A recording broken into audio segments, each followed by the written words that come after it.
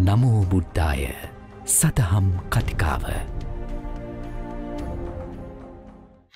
නම් බුද්ධාය. අද අපේ සුපුරුදු දහම් කතිකාවතර තමයි පැමිණ සිටින්නේ. මේ හඳුන්වාදීමක් හැටියට කියනවා නම් දැන් වෙනකොට ඔබ කවුරුත් දන්නවා කොයි ආකාරයෙන්ද මෙතනදී ධර්ම විශ්ලේෂණය කරන්නේ අපේ ලොකු ස්වාමීන් වහන්සේ විසින්. කාටත් පහසු ආකාරයට සරල ආකාරයකින් අවබෝධය පිණිස අප දැන් මාතෘකා කීපයක් යටතේ අපි කතා කරලා තියෙනවා. මේ මාතෘකා සියල්ලම අපිට ප්‍රයෝජනවත් වෙනවා. අපි අවසානයේදී ධර්මය අවබෝධ කරගන්නවා නම් මේ අවශ්‍ය උපකාරක කරුණු කාරණා හරියට තේරුම් බේරුම් කර ගැනීමේ අවශ්‍යතාවය ඒ වැඩසටහන් තුලින් අපිට පෙන්වුම් කරලා දුන්නා අපේ ලොකු සන්හන්ස. දැන් මේ වැඩසටහන් වලදී අපි කතා කරා කොහොම භාවනාවට අවශ්‍ය වන සමත පිළිවෙත ගැනත් විදර්ශනා පිළිවෙත ගැනත්. මේ පිළිවෙත් පුරනකොට කොයි ආකාරයෙන්ද කර යුත්තේ? ඒ භාවනා ක්‍රම වේදයන් සම්බන්ධව තිබිය යුතු ගුණාංගයන් මොනවාද? අපි ආනාපාන සතිය සතිපට්ඨාන භාවනාව තුළින් ආනාපාන සතිය ගැන අපි කතා කරා. ඊට පසුව අපි කතා කරා යම් තාක් දුරකට දෙතිස් කුණුපය මේ අනාදී වශයෙන් අනිත්‍ය භාවනාව මේ අනාදී වශයෙන් භාවනා කිරීමෙන් හිත කොහොමද අපි හසුරවා ගන්නේ සිහිනුවන කොහොමද පවත්වාගෙන යන්නේ සතිය කියන්නේ කුමක්ද? මෙතනින් තමා සමාධියක් තුළින් ප්‍රඥාවක් ඇති කරගන්නේ කෙසේද? මේ ප්‍රඥාවෙන් අපි හෙලි කරගන්නා යන කරුණු කොයි ආකාරයෙන්ද අපි හසුරවාගත යුත්තේ ආර්ය අෂ්ටාංගික මාර්ගය හරහා. ඉතින් මේ හා සම්බන්ධව කතා කිරීමේදී ගිය වතාවෙත් ඊට පෙරත් අපි සත්ව බොජ්ජංගයන් ගැන කතා කරා. මෙහිදී වීරිය කොයි ආකාරයෙන්ද පාවිච්චි කරගත යුත්තේ ඉස්සල්ලාම් ගන්නවන සතිය, ධර්ම විචය, විරිය, ප්‍රීතිය, පස්සදිය, සමාධිය සහ උපේක්ඛා යන වශයෙන් අපි මේ කරුණු ගැන ටිකක් ගැඹුරින් කතා කරා. ඉතින් ඒ වගේ මාත්‍රාවක් අරගෙන අදත් අපි මේ ප්‍රවේශවීමු ඒ ප්‍රවේශවීමට පෙර ලොකු සන්හන්සේ ගැන මං නැවතතාවක් ස්තුතිවන්ත වෙන්න ඕනේ. මෙවැනි කුසල් කර්මයක් තුළින් තම අපට ලොකු සන්හන්සේ අපිට භාග්‍යයක් මහත් භාග්‍යයක් අපිට ලැබිච්ච එක ගැන. මොකද මෙතනදී අපිට මේ කරුණු කාරණා බොහොම ඉවසලිවන්තව මේ කරුණු කාරණා අපිට පහදා දීමට උන්වහන්සේගේ ඒ වටිනා කාලය අපිට මිඩම් කිරීම සම්බන්ධයෙන්. ඉතින් අවසරයි ලොකු සන්හන්සේ අදත් අපේ සුපුරුදු වැඩසටහන් තුළින් ලොකු සන්නාංශ විශේෂයෙන්ම මම මේ අද බැලුවේ ලොකු සන්නාංශ මේ ධාතු මනසිකාරය ගැන පොඩ්ඩක් බලන්න. මේ සම්බන්ධව ලොකු සන්නාංශ ආයතර ගියවතාව සායිට ඉස්සල වතාවට අපි ගියා වගේ අපි එතනදී සතිය. කොයි විදිහටද මේ සතිය තියෙන්නේ කියන එක. දැන් මෙතන බලනකොට හුඟක් වෙලාවට මේ සතිය සහ නුවනින් මෙනෙහි කිරීම සම්බන්ධය මෙතනත් කතා වෙනවා ලොකු සන්නාස එතක මෙතන කියනවා සතිය හැටියට අපිට ගත්තොත් එහෙම මෙතනද අපිට පේනවා පටව්‍යාපෝ තේජෝවාය කියලා ගොඩක් පේන්න පුළුවන් සිහිය හැබැයි මෙතන නුවනින් කල්පනා කිරීමේදී තමයි විදිහට බෙදා ගන්න පුළුවන්. හැබැයි බෙදා ගැනීම විතරක් ප්‍රමාණවත් වෙනවද නැත්නම් කොහොමද ඔක නැත්නම් සමහර අය කියනවා මේ වැලි කැටයක් නැත්නම් මේ වැලි ගොඩක් වැලි කන්දක් හැටියට අපේ රූපය අප ඇස් රූපයත් එක්ක ගැටනම් මේ විදිහට අපිට මේ සංඥා වලින් එක එක වලින් එනවා. හැබැයි අපිට මේ පටවේ ආපෝ තේජෝ වායු කියන එක මේ බේරුම් කරගන්න බෑ. අපි මේ හිතෙන් හදාගන්න ක්‍රමවේදයක් විදිහට මේ බලන්න යන කරුණ කොහොමද මේ නුවණින් මෙනෙහි කරන්නේ කියන කතාවතන පොඩි ගැටණයක් තියෙනවා කියන ලොකු ස්වාමීන් අන්න ඒ පිළිබඳව ලොකු ස්වාමීන් දෙයක් අපිට කියන්න දෙන්න. හැමෝටම තෙරුවන් සරණයි. මේ මං හිතන්නේ මහත්තයා ඊටාම වැදගත් ප්‍රශ්නයක් අද ඇහුවේ. ඒ කියන්නේ දැන් කවුරුත් සතිය ගැන කතා කරාට මේ සතියත් එක්ක නුවණින් මෙනෙහි කිරීම අනිවා නුවණ මෙනෙහි කිරීම කියන කාරණේ අනිවාර්යම සම්බන්ධයක් තියෙනවා කියලා ගොඩක් අය කල්පනා කරන්නේ සතිය විතරයි කල්පනා කරන්නේ. නමුත් සතියයි නුවණින් මෙනෙහි කිරීමයි එකට තියෙන්නේ. එතකොට මේ දැන් ප්‍රශ්නේ තමයි අපේ මේ ධාතු මනසිකාරයේදී කොහොමද මේ ධාතු මනසිකාරයේ සතිපට්ඨානය තුළ හොඳට නගා ගන්න කියන එක තමයි නෝනින් මෙනෙහි කරන්න උදව් වෙන්නේ කොහොමද කියන එකයි. මේකට මට හොඳ සූත්‍ර කීපයක් හම්බ වුණා. සංයුත්තනිකය දෙවෙනි පොතේ පොත් වහන්සේගේ තියෙනවා ධාතු සංයුත්තය කියලා මේ බුද්ධ දේශනා. ඒකේ තියෙනවා දැන් අපි සාමාන්‍යයෙන් අපිට පුරුදු වචනක් තියෙනවා. ධාතු කියවම පඨවි ධාතු, ආපෝ ධාතු, තේජෝ වායෝ, තේජු ධාතු, වායු ධාතුව කියලා. ඒක තැනක උන්වහන්සේ වදාලා මහණෙනි යම් තැනක පඨවි ධාතුව ඇද්ද ඒ දුකේ උපතයි කියනවා. ඒ ජරා මරණයන්ගේ පටන් ගැනීමයි කියනවා. ඒ මරණයේ ආරම්භයයි කියනවා. යම් තැනක ආපෝ ධාතුවක්ද තේජෝ ධාතුවක්ද කියලා. දැන් මේකේ ධාතු කියන වචනේ අපි සාමාන්‍යයෙන් කල්පනා කරනවට වඩා මේ ගැඹුරු අර්ථයක් තියෙන එකයි. ධාතු කියන එකෙන් අදහස් කරන්නේ පරමාර්ථ වශයෙන් බලද්දි යමක් දිහා සත්‍වික් නොවන පුද්ගලික නොවන ආත්මයක් නොවන හේතු ප්‍රත්‍යයන්ගේ ස්වභාවය අනුව සකස් වෙච්ච දෙයක්. ඒ හේතු ප්‍රත්‍ය නැති වෙනකොට නැති වී යන දෙයක්. ඒ කියන අර්ථයෙන් තමයි ධාතු කියලා කියන්නේ. එතකොට දැන් පඨවි ධාතුව කියවම එතන සතෙක් සත්වයක් පුද්ගලයෙක් ආත්ම කතාවක් නැහැ. ඒ පඨවි ස්වභාවය. ඒ වගේ බුදුරජාන් වහන්සේ විස්තර කරනවා ධාතු කියලා. මහණෙනි ධාතු සයක් තිබේ. චක්කු ධාතු. සෝත ධාතු. ඒ කියන්නේ ඇස ධාතු ස්වභාවයක්. කන ධාතු ස්වභාවයක්. නාසය ධාතු ස්වභාවයක්. දිව ධාතු ස්වභාවයක්. කය ධාතු ස්වභාවයක්. මනස ධාතු ස්වභාවයක් කියලා. දැන් ඒ කියන්නේ නාම රූප ප්‍රත්‍යයෙන් හට ගන්නා වූ ඇස සත්‍ය පුද්ගලයෙක් ආත්මයක් හැටියට ගන්න නැතුව ඒක හේතු ප්‍රත්‍යයෙන් හටගත්තු ස්වභාවයක්. ධාතු ස්වභාවයක්. ඒක කළ දෙන්නේ පෙනීමේ කෘත්‍ය. ඒ ධාතු ඇස නම් වූ ධාතු ස්වභාවය පෙනීමේ කෘත්‍ය කරලා දෙනවා. එතකොට ඒකේ බුදුරජාන් වහන්සේ හරි ලස්සනට පෙන්වා දෙනවා මේ ධාතු නානත්වය නිසා තමයි කියනවා ස්පර්ශ නානත්වය ඇති වෙන්නේ. ඒ කියන්නේ දැන් ඇසේ ඇස ඇස කරන්නේ පෙනීමේ කෘත්‍ය. ඇස නම් වූ ධාතුව. ඇසේ ඇස නම් වූ ධාතුව පෙනීමේ කෘත්‍ය සලසා දෙනවා. ස්පර්ශ නානත්වය ඇති කරලා දෙනවා කියනවා මේ අභ්‍යන්තර ධාතු ස්වභාවය. බාහිර ධාතු ස්වභාවයේ සංඥා නානත්වය ඇති කරලා දෙනවා කියලා. හරි පුදුම ලස්සන කතාවක් ඒක. ඒ බාහිර ධාතු ස්වභාවය කියලා පෙන්වා දෙනවා රූප ධාතු, ශබ්ද ධාතු, ගන්ධ ධාතු, රස ධාතු, පොට්ටබ්බ ධාතු, ධම්ම ධාතු කියලා. මෙයින් සංඥානානත්වය ඇති කරලා දෙනවා කියනවා. ඒ කියන්නේ දැන් ඇහෙන් දකින්නේ අපි රූප. එතකොට කනින් ආන්නේ ශබ්ද. එතකොට ඒ ධාතු ස්වභාවය මත ඒ අඳුන ගන්න ස්වභාවයත් වෙනස්. මොකද ඇහෙන් අපිට ශබ්ද පේන්නේ ශබ්ද පේන්නේ. ඇහෙන් අපිට රූප විතරයි පේන්නේ. එතකොට කනින් අපිට ශබ්ද ඇහෙනවා. එතකොට කනින් ඇහෙන ශබ්ද අනුසාරයෙන් තමයි අපි සංඥාව ගන්නෙ. එතකොට සංඥාවට මුල් වෙන්නේ ශබ්දේ නිසා ඒකට කියනවා ශබ්ද සංඥා කියලා. නමුත් සංඥාවක් කියන්නේ අපි ඇහැට ඇහෙන් දකින එකක්. නමුත් ඒකට මුල් වෙන්නේ ශබ්දේ නම් ඒකට කියනවා ශබ්ද සංඥාව කියලා. ඒතර බුදුරජාණන් වහන්සේ මේ එකක් ගානේ පෙන්වා දෙනවා ධාතු කියන වචනෙන්. දැන් පොට්ටබ්බ කියන්නේ පස්ස හැටියට අපිට ගන්න පුළුවන් ප- පස්ස ඔව් පස්ස නේද? ඔව් දැන් අපි සාමාන්‍ය පොට්ටබ්බ කියලා අපි කියන්නේ ඒකට සාමාන්‍යයෙන් අපි කියනවා නම් පහස. පහස.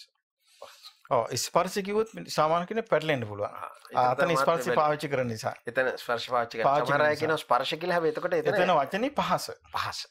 පහස කියන වචනේ ගත්තාම අර අර්ථය වර්ධින්නේ නැහැ.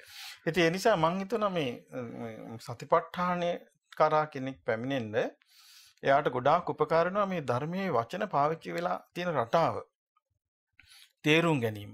දැන් අර මහත්තයා කිව්වේ කෙනෙක් හිතන්න පුළුවන් මේ වැලිකට ගොඩාක් එකතු වෙලා මේ මේක හැදෙනවා වගේ මේ මොකද්ද?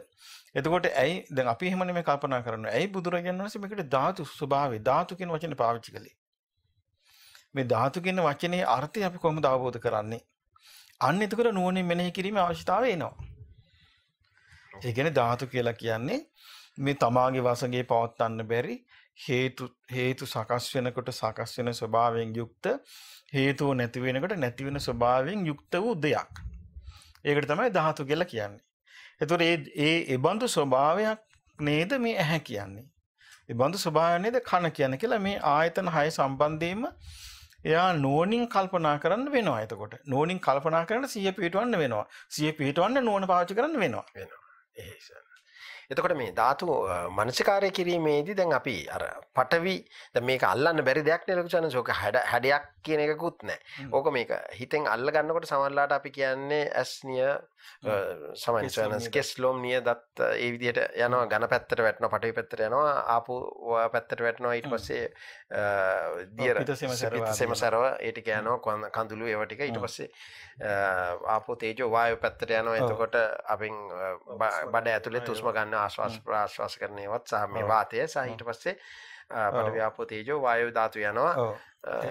ගමන් කිරීම හා ඒ ඔව්. ඇතුළ ඇතුළත ඒ ගමන් කිරීම සම්බන්ධ. දැන් මේක ස්වාමීන් කොයි විදිහටද මේක අපි බලන්න ඕනේ? දැන් මෙතන මේ බැලීමේදී දැන් අපිත් කියනවා ඕ මේකේ ගොරෝසු ගතියක් තියෙනවා තද ගතියක් තියෙනවා. පටවි ගතිය වැඩි ඕනෑම තැනකදී පටවි සහ තේජෝ ගතිය වැඩි.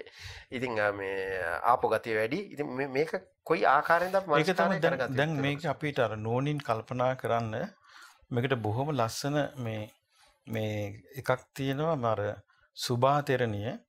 සුභාතෙරණිය ගාවට සල්ලාලෙක් ඇවිල්ලා මේ ඇස වර්ණනා කරනවනේ.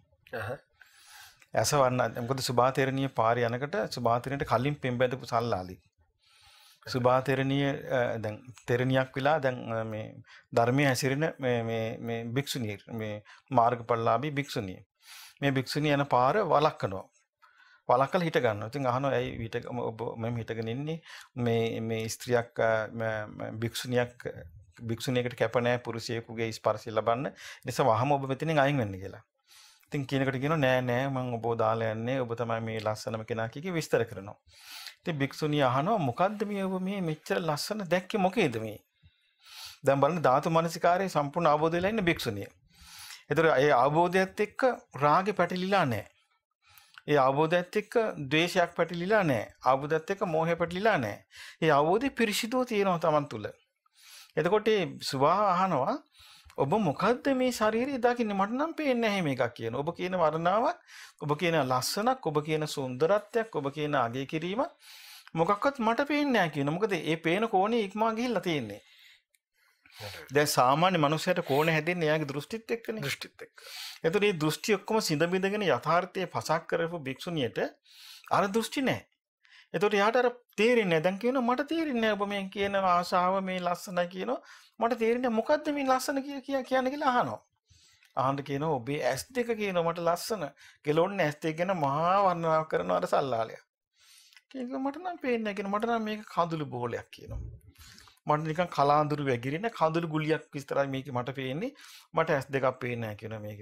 මට පේන්නේ මෙහෙම එකක් කියන භික්ෂුණී කියන මට පේන්නේ මේ රූකඩ රූකඩයක් මිනිස්සෙක් වෙනම නටවනවා වගේ අපි චිත්ත වේගයක් මෙහෙवला අතපය හසුරුවීම ඇස් පිහෙලීම මේ ශරීරය හැට මෙහාට යම මේ චිත්ත වේගයක් මුල් වෙලා කරන එකක් මිසක් මේ රූකඩයක් වගේ මේ විඥානයේ ක්‍රියාකාරීත්වය තියෙනකන් තමයි මේ ඔක්කොම තියෙන්නේ. විඥාන නැති වෙච්ච ගමන් විඥානේ චුත වෙච්ච ගමන් මේක ඔක්කොම නැති වෙලා යනවා. දරකඩක් වගේ වැටෙනවා.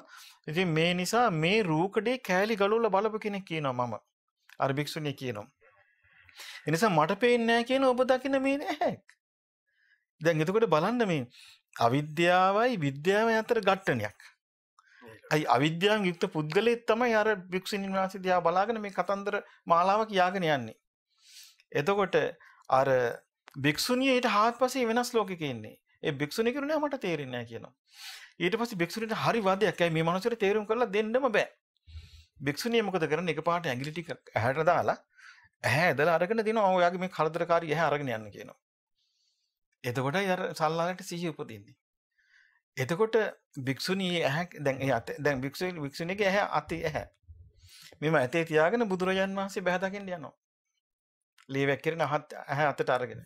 බුදුරජාණන් වහන්සේ පෙනෙකට මේ ප්‍රකෘතිය යාට පහළ වෙනවා. ඒ භික්ෂුණීන් වහන්සේට. දැන් බලන්න මම මේ කිව්වේ අර අර ලෝක දෙකක්.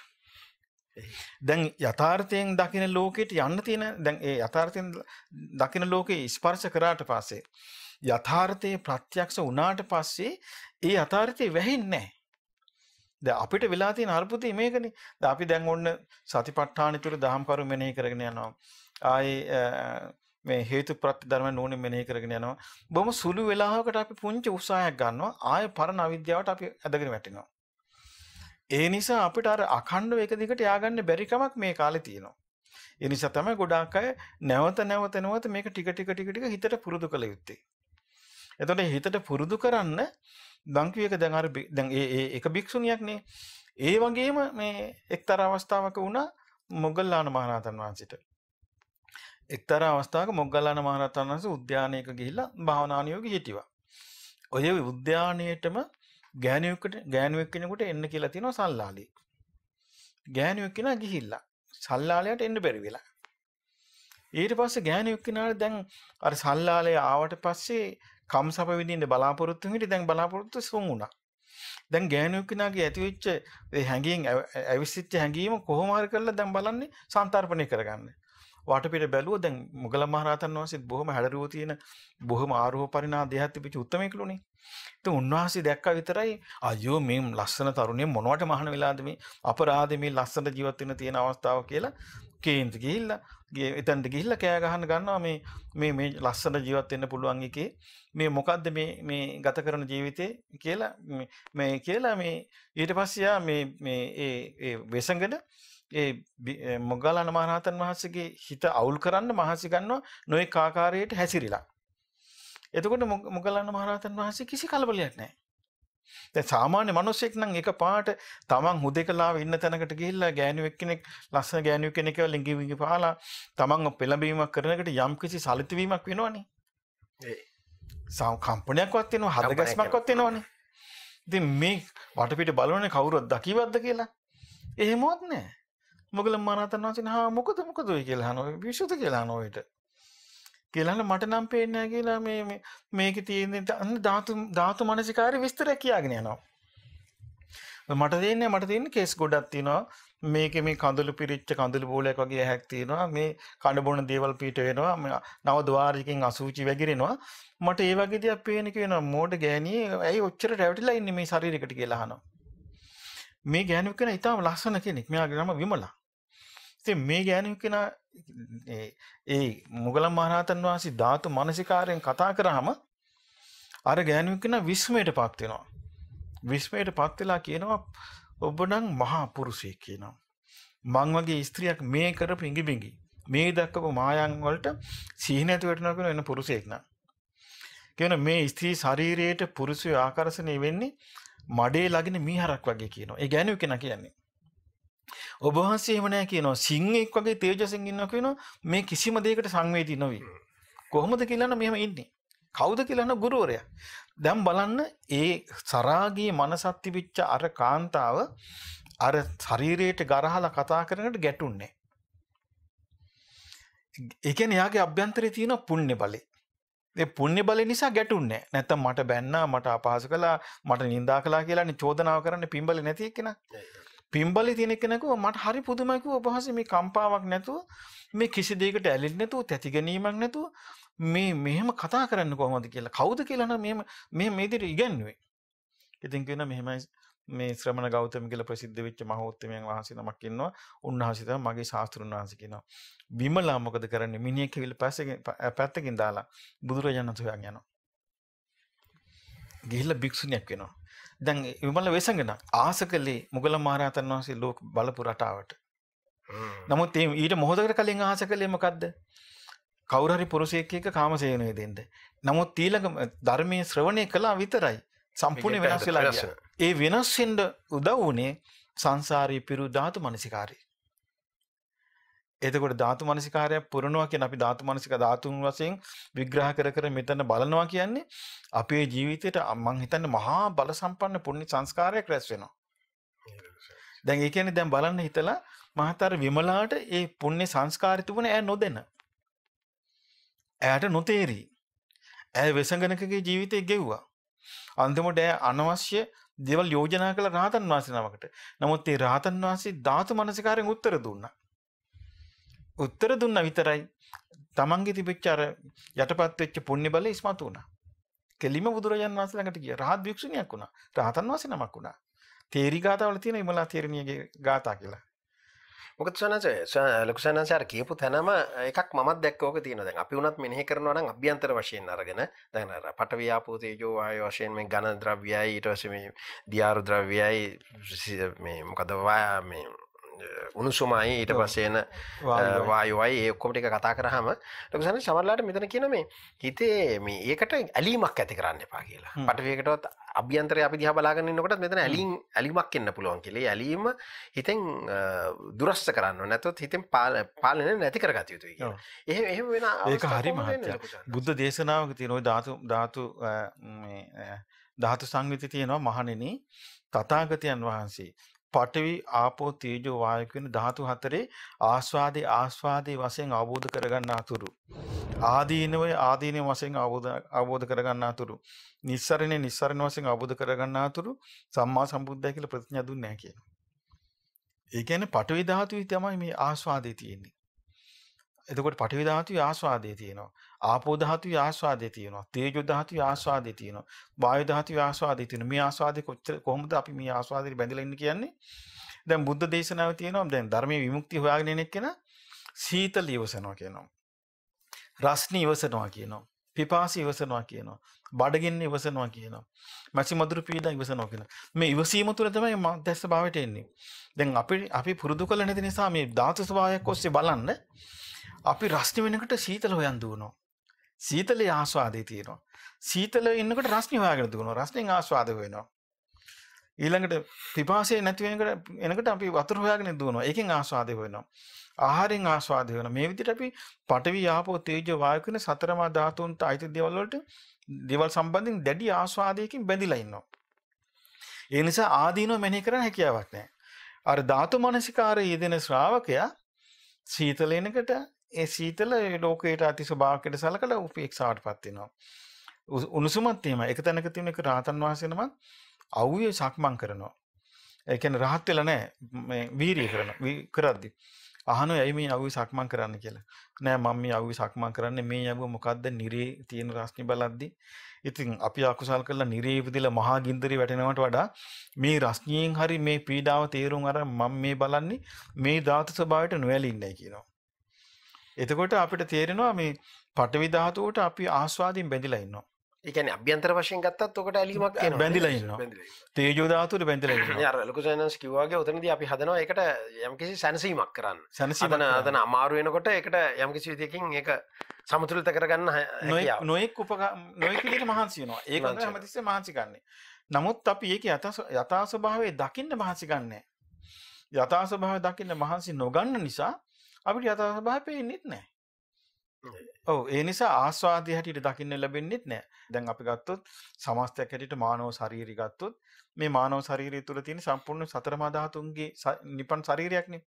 එතකොට ආහාර ප්‍රත්‍යයෙන් පෝෂණය වෙ තියෙන ශරීරයක්. දැන් මේ ශරීරයේ තරුණ වෙනකොට කෙනෙකුට හට ගන්නවා යෞවන මදි. ඒ යෞවන භාවයෙන් මත් වෙනවා. ඒ මත් වෙන්නේ ධාතු ස්වභාවය දන්නේ නැති නිසා. එහෙම නැත්නම් හට ගන්නවා ආරෝග්‍ය මදි. නිරෝගීකමෙන් මත් වෙනවා. ඒ හටගන්නේ ධාතු ස්වභාව දන්නේ නැති නිසා. ඊළඟට හටගන්නවා මේ ජීවිත මදි මැරෙන්නේ නැහැ කියලා හිතනවා. ඒත් ධාතු ස්වභාව දන්නේ නැති නිසා. නමුත් බුදුරජාන් වහන්සේ දේශනා කරනවා මේ ධාතු යම් තැනක තියෙනවා නම් පඨවි ආපෝ තේජෝ වායෝ මේ දුකේ උපතයි කියන රෝගයන්ගේ පැවැත්මයි කියනවා. ජරා මරණේ පිහිටීමයි කියනවා. එතකොට දැන් අපේ මේ ශරීරය අපි ආස කරපු මේ මේ ශරීරය නිරෝගී පවත්වන්න මේ ශරීරයමයි ඒ ඒ ධාතු ස්වභාවයට අයිති කොටස් කාලයාගේ ඇවෑමෙන් දිරා යනවා. ජරාවට පත් වෙනවා. රෝගී ස්වභාවයට පත් වෙනවා. පත් වෙනකොට අනේ මගේ අසවල් තැන අසනීපයි මේ මේ කියලා අපි රිපෝට්ස් අරගෙන ඒවා බල බල ඔන්න පසුතැවිත අඬ අඬ ඉන්නවා අනේ මෙහෙම ලෙඩ වුණා මෙහෙම ලෙඩ වුණා කියලා. දැන් මට හොඳට මතකයි අපි පුංචි කාලේ අලුත බැඳපු ජෝඩුවක්. ඉතින් අපි අපි අපිට පන්සලට ආවා. ඇවිල්ලා ඉතින් කතා කරලා ගිහිල්ලා ওই සිංහල රුදු කාලෙක ඒගොල්ලන්ගේ ඥාති වගේක් ඇවිල්ලා කොහම හරි වැවෙන් නාන්න ගිහිල්ලා මේගොල්ලෝ එන ගමන් ඒ මහත්තයාගේ ඇහි අර එරමිණි අත්තක් වැදිලා. එයා ලොකුවට මේක හිතුවේ නැහැ. ඊට පස්සේ ඊට පහුවදා ඇහැ ඉදිමිලා. පේරා දිනේ ගෙනිච්චාට පස්සේ ડોක්ටර්ස්ලා ඔළුව අත ගහගෙන කියනවා අම්මෝ ඇහැ කුණු වෙලා ඊළඟ හැට යන්න ඉස්සෙල්ලා මේක ගලවන්න ඕනේ කියලා. ඊට සුමානකට පස්සේ මේ මහත්තයා අඬාගෙන එනවා. දැන් මට අපි එතකොට අපිට අවුරුදු 17ක් 18ක් වගේ. නමුත් මට හොඳට හිතට වැදුනා මේ සිද්ධිය. මොකක්ද අඬ අඬා කියනවා අනේ ඇයි පොඩි හාමුදුරනේ අපිට මෙහෙම වුනේ ඇයි පොඩි හාමුදුරනේ මෙහෙම වුනේ කිය කී. දැන් බැඳලා මාස 3යි. ඒ ඇහැ ඇහැ කුණු වෙලා එකපාරට මොකද හේතුව බැවේ ගිහිලා නාලා එදා රෑ කට්ටිය එකතු වෙලා බීලා. මං හිතන්නේ ඒකත් එක්ක වෙන්න ඇති මේ විස එන්න ඇති. එතකොට දැන් බලන්න අර ඇහැ ධාතු ස්වභාවයක් කියන එක අපිට තෝරා දෙන්න හැකියාවකුත් නැහැ ඒකල අපි පුංචි. අපි දන්නෙත් නැහැ. ඉතින් අනේ මගේ ඇහැට මෙහෙම වුණේ මොකද කිය කී මතක් වෙන ගාන ඉතින් එතුමා අඬ අඬ ඉන්න ඇති. මොකද දැන් බැඳලා මාස 3ක් කියන්නේ සාමාන්‍යයෙන් එක ඇහක් කන වෙච්ච කෙනෙක් බවට පත් වෙන කිසිසේත් Taman කැමති නෑනේ. නමුත් බලන්නේ Tamanට අයිති නැති දේ අර හේතු සකස් වෙනකොට නැති වෙලා ගියපු ඇති. ඒකට උමනා කරන දේ නැති වෙනකොට නැති වෙලා ගියා. නැති වෙලා ගියා. විනාශ වෙලා ගියා. ඒ වගේ දැන් සමන්ගේ ශරීරයේ තියෙන එක එක දේවල් එහෙම වෙනවා. නමුත් ධාතු මනසිකාරය කරට මේක අපි තේරුම් අරන් හිටියා නම් සමහරට මේක සංසාරෙටම නොවැළෙන්න එයාට හිත දියුණු කරගන්න තිබිච්ච අවස්ථාවක්. මෙතන එතකොට අපි බැලිය යුත්තේ කෙසේද ලොකු සන්නස් එතකොට අපි කියන්නේ ධාතු ස්වභාවය බලනවා කියන්නේ දැන් අපි ගත්තොත් බුදුරජාණන් වහන්සේ දේශනා කරන්නේ ඉස්සෙල්ලා බලන්න කියන්නේ කෙස් ලොම් නිය දත් සම්මසාදී ධාතු ස්වභාවයෙන් බලන්න පටවි ධාතු හැටියට බලන්න කියනවා. මේකේ තවත් උපමාව උපමා සරල උපමාවක් කරලා තියෙනවා සාරිපුත්ත මහරහතන් වහන්සේ. උන්වහන්සේ වදාළ මේ ශාරීරික සම්බන්ධයෙන් මෙහෙම එකක්. කියනවා මේ මේ භික්ෂුන් වහන්සේලාට කියනවා මේ මහණෙනි මේ පොළොවක් තියෙනවා. මේ පොළොවේ ගෙයක් හදන්න ඕනේ. එතකොට කෙනෙක් ගිල්ල කණු හිටවනවා. කණු හිටලා හරස් හතර ලී බැඳලා වැල් පොටවල වලින් බැඳලා ඊට පස්සේ මැටි අනලා මේ මැටි ගහනවා. ගහලා මේ වහලයක් හදනවා. ඊට පස්සේ මේ පොළොව තමයි ආවරණය කරන්නේ අපි. පොළොව තමයි වටේට බිත්ති බැඳලා ආවරණය කරලා ඊට පස්සේ අපි ඒකට නමක් තියෙනවා ගේ කියලා. ඒ වගේ කියන මහණී ඔබ ඉන්නකොට ඔබ ඔබ ඔබ- නිසා යම්කිසි ප්‍රදේශයක් ඔබෙන් ආවරණය වෙලා යනවා. ඊට පස්සේ නමුත් ඒ කොටසට අපි කියනවා සත්වයා කියනවා. මොත් අර ගහේ මේ අර ගෙදර මේ මේ මොනවද මේ වරිච්චි බැඳලා හදපු ගෙද- ගෙදරට කියන නමක් වගේ මේ කෙස්ලොම් නේදත් සම් ආදී එකතු වෙලා හැදිච්ච ශරීරයට සත්වයා කියලා කියනවා කියලා. ඒ විදිහට බලන්න කියලා ඒකට තමයි එතකොට අපි සංඥාව ගන්නකොට අර මුළු එකක් ඒක අපි. වෙන්වෙන් වශයෙන් ගන්න. වශයෙන් ගන්න ඕනේ. ගන්න ඒක ඒකද ලොකු සනසර කියන්නේ පටවි සැමිලාවකම පොළවට සමාන කරන්න වතුරට සමාන කරන්න හුළඟට සමාන කරන්න ඒ විදිහට ඒ හැම එකක්ම කඩලා කියන්නේ ඒක තවත්. ගැඹුරින් බලන්න කියන්නේ. ඒක යහනවා බුදුරජාන් වහන්සේ යන මහණෙනි පොළව කවදාවත් කිපෙනවද කියලා අහනවා මිනිස්සු 1000ක් වෙලා පොළව හැරුවත් පොළව කිපෙනවද කියලා අහනවා. ඊළඟට පොළවේ මිනිස්සු මල් හිටෙව්වත් පොළව අමුතු සන්තෝෂයකට පත් වෙනවද කියලා අහනවා. ඊළඟට පොළවේ අසූචි දැම්මත් පොළව එනවද කියලා. ඒ වගේ පොළොව සමකොට වැඩුවොත් මේ අස්සලෝක ධර්මයට එයා කම්පා වෙන්නේ නැතු ඉන්නවා කියනවා. එතකොට ඉතුරු එකත් ඒ විදිහටම ඉතුරු එකත් ඒ දැන් විදිහමයි එතකොට පටවි ආපෝ වෙනකොට ඒ කොහොමද? ආපයකට බුදුරජාන් වහන්සේ අහනවා "ම- මහණෙනි මේ වතුරේ වතුරට මේ සුවඳ. වර්ග හේතුවා කියලා වතුර උද්දාමට පත් වතුර කෙල්ල ගැහුවා අසුචි හේදුවා කියලා වතුර කම්පා වෙනවද කියලා අහනවා. වතුර කිපිනවද කියලා අහනවා.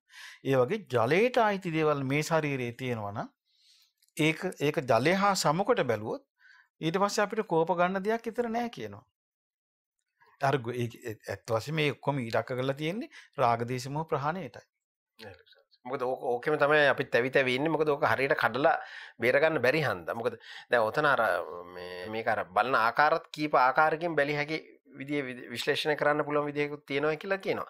දැන් මෙතනදී හැබැයි අපි දැන්ට හිතාගත යුත්තේ මේ පඨවි ආපෝ තේජෝ වායෝ මේ බෙදන්න මීට එහා එකක් නැහැ නේ සාමාන්‍යයෙන් අපි බෙදීම් හැටියට කරනවා නම් දැන් වර්ණ ගන්ධ රස පහස ඒ වගේ ගන්නවා අ, මෙතන තියෙන්නේ සුද්දාෂ්ටක බලන්න. සුද්දාෂ්ටක සුද්දාෂ්ටක ගත්තොත් නමුත් න- සතිපට්ඨාන සූත්‍රයේ තියෙන්නේ මේ මුල් හතර විතර බලන්න කියලා. මුල් හතර විතරයි ඒ කියන්නේ බලන්න පඨවි ආපෝ තේජෝ තේජෝ වායෝ වායෝ විතර බලන්න. ඕනෑම දෙයක් ලෝකේ සකස් වෙලා තියෙන්නේ මෙතනින් කියන කියන්න බලන්න පුළුවන්. විද්‍යාවෙන් කොච්චර කැඩුවත් අන්තිමට එන්නේ මේ හතරට කියන එක.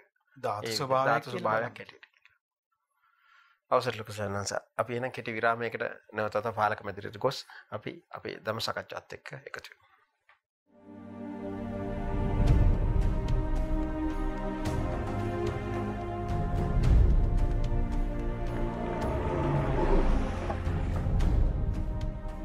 නමෝ බුද්ධාය. සතහම් කතිකාව.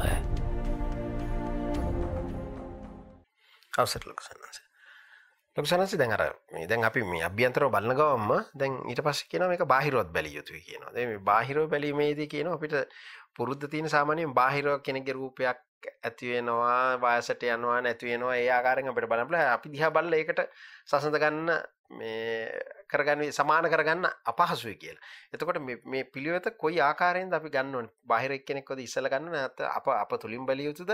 නැත්නම් කොමන අවස්ථාවලදීද අපි බාහිරටත් යා යුත්තේ ලොකු සර්? මං හිතනවා මහත්තයා මේකේ දෙකින්ම උත්සාහ කළ යුතුයි.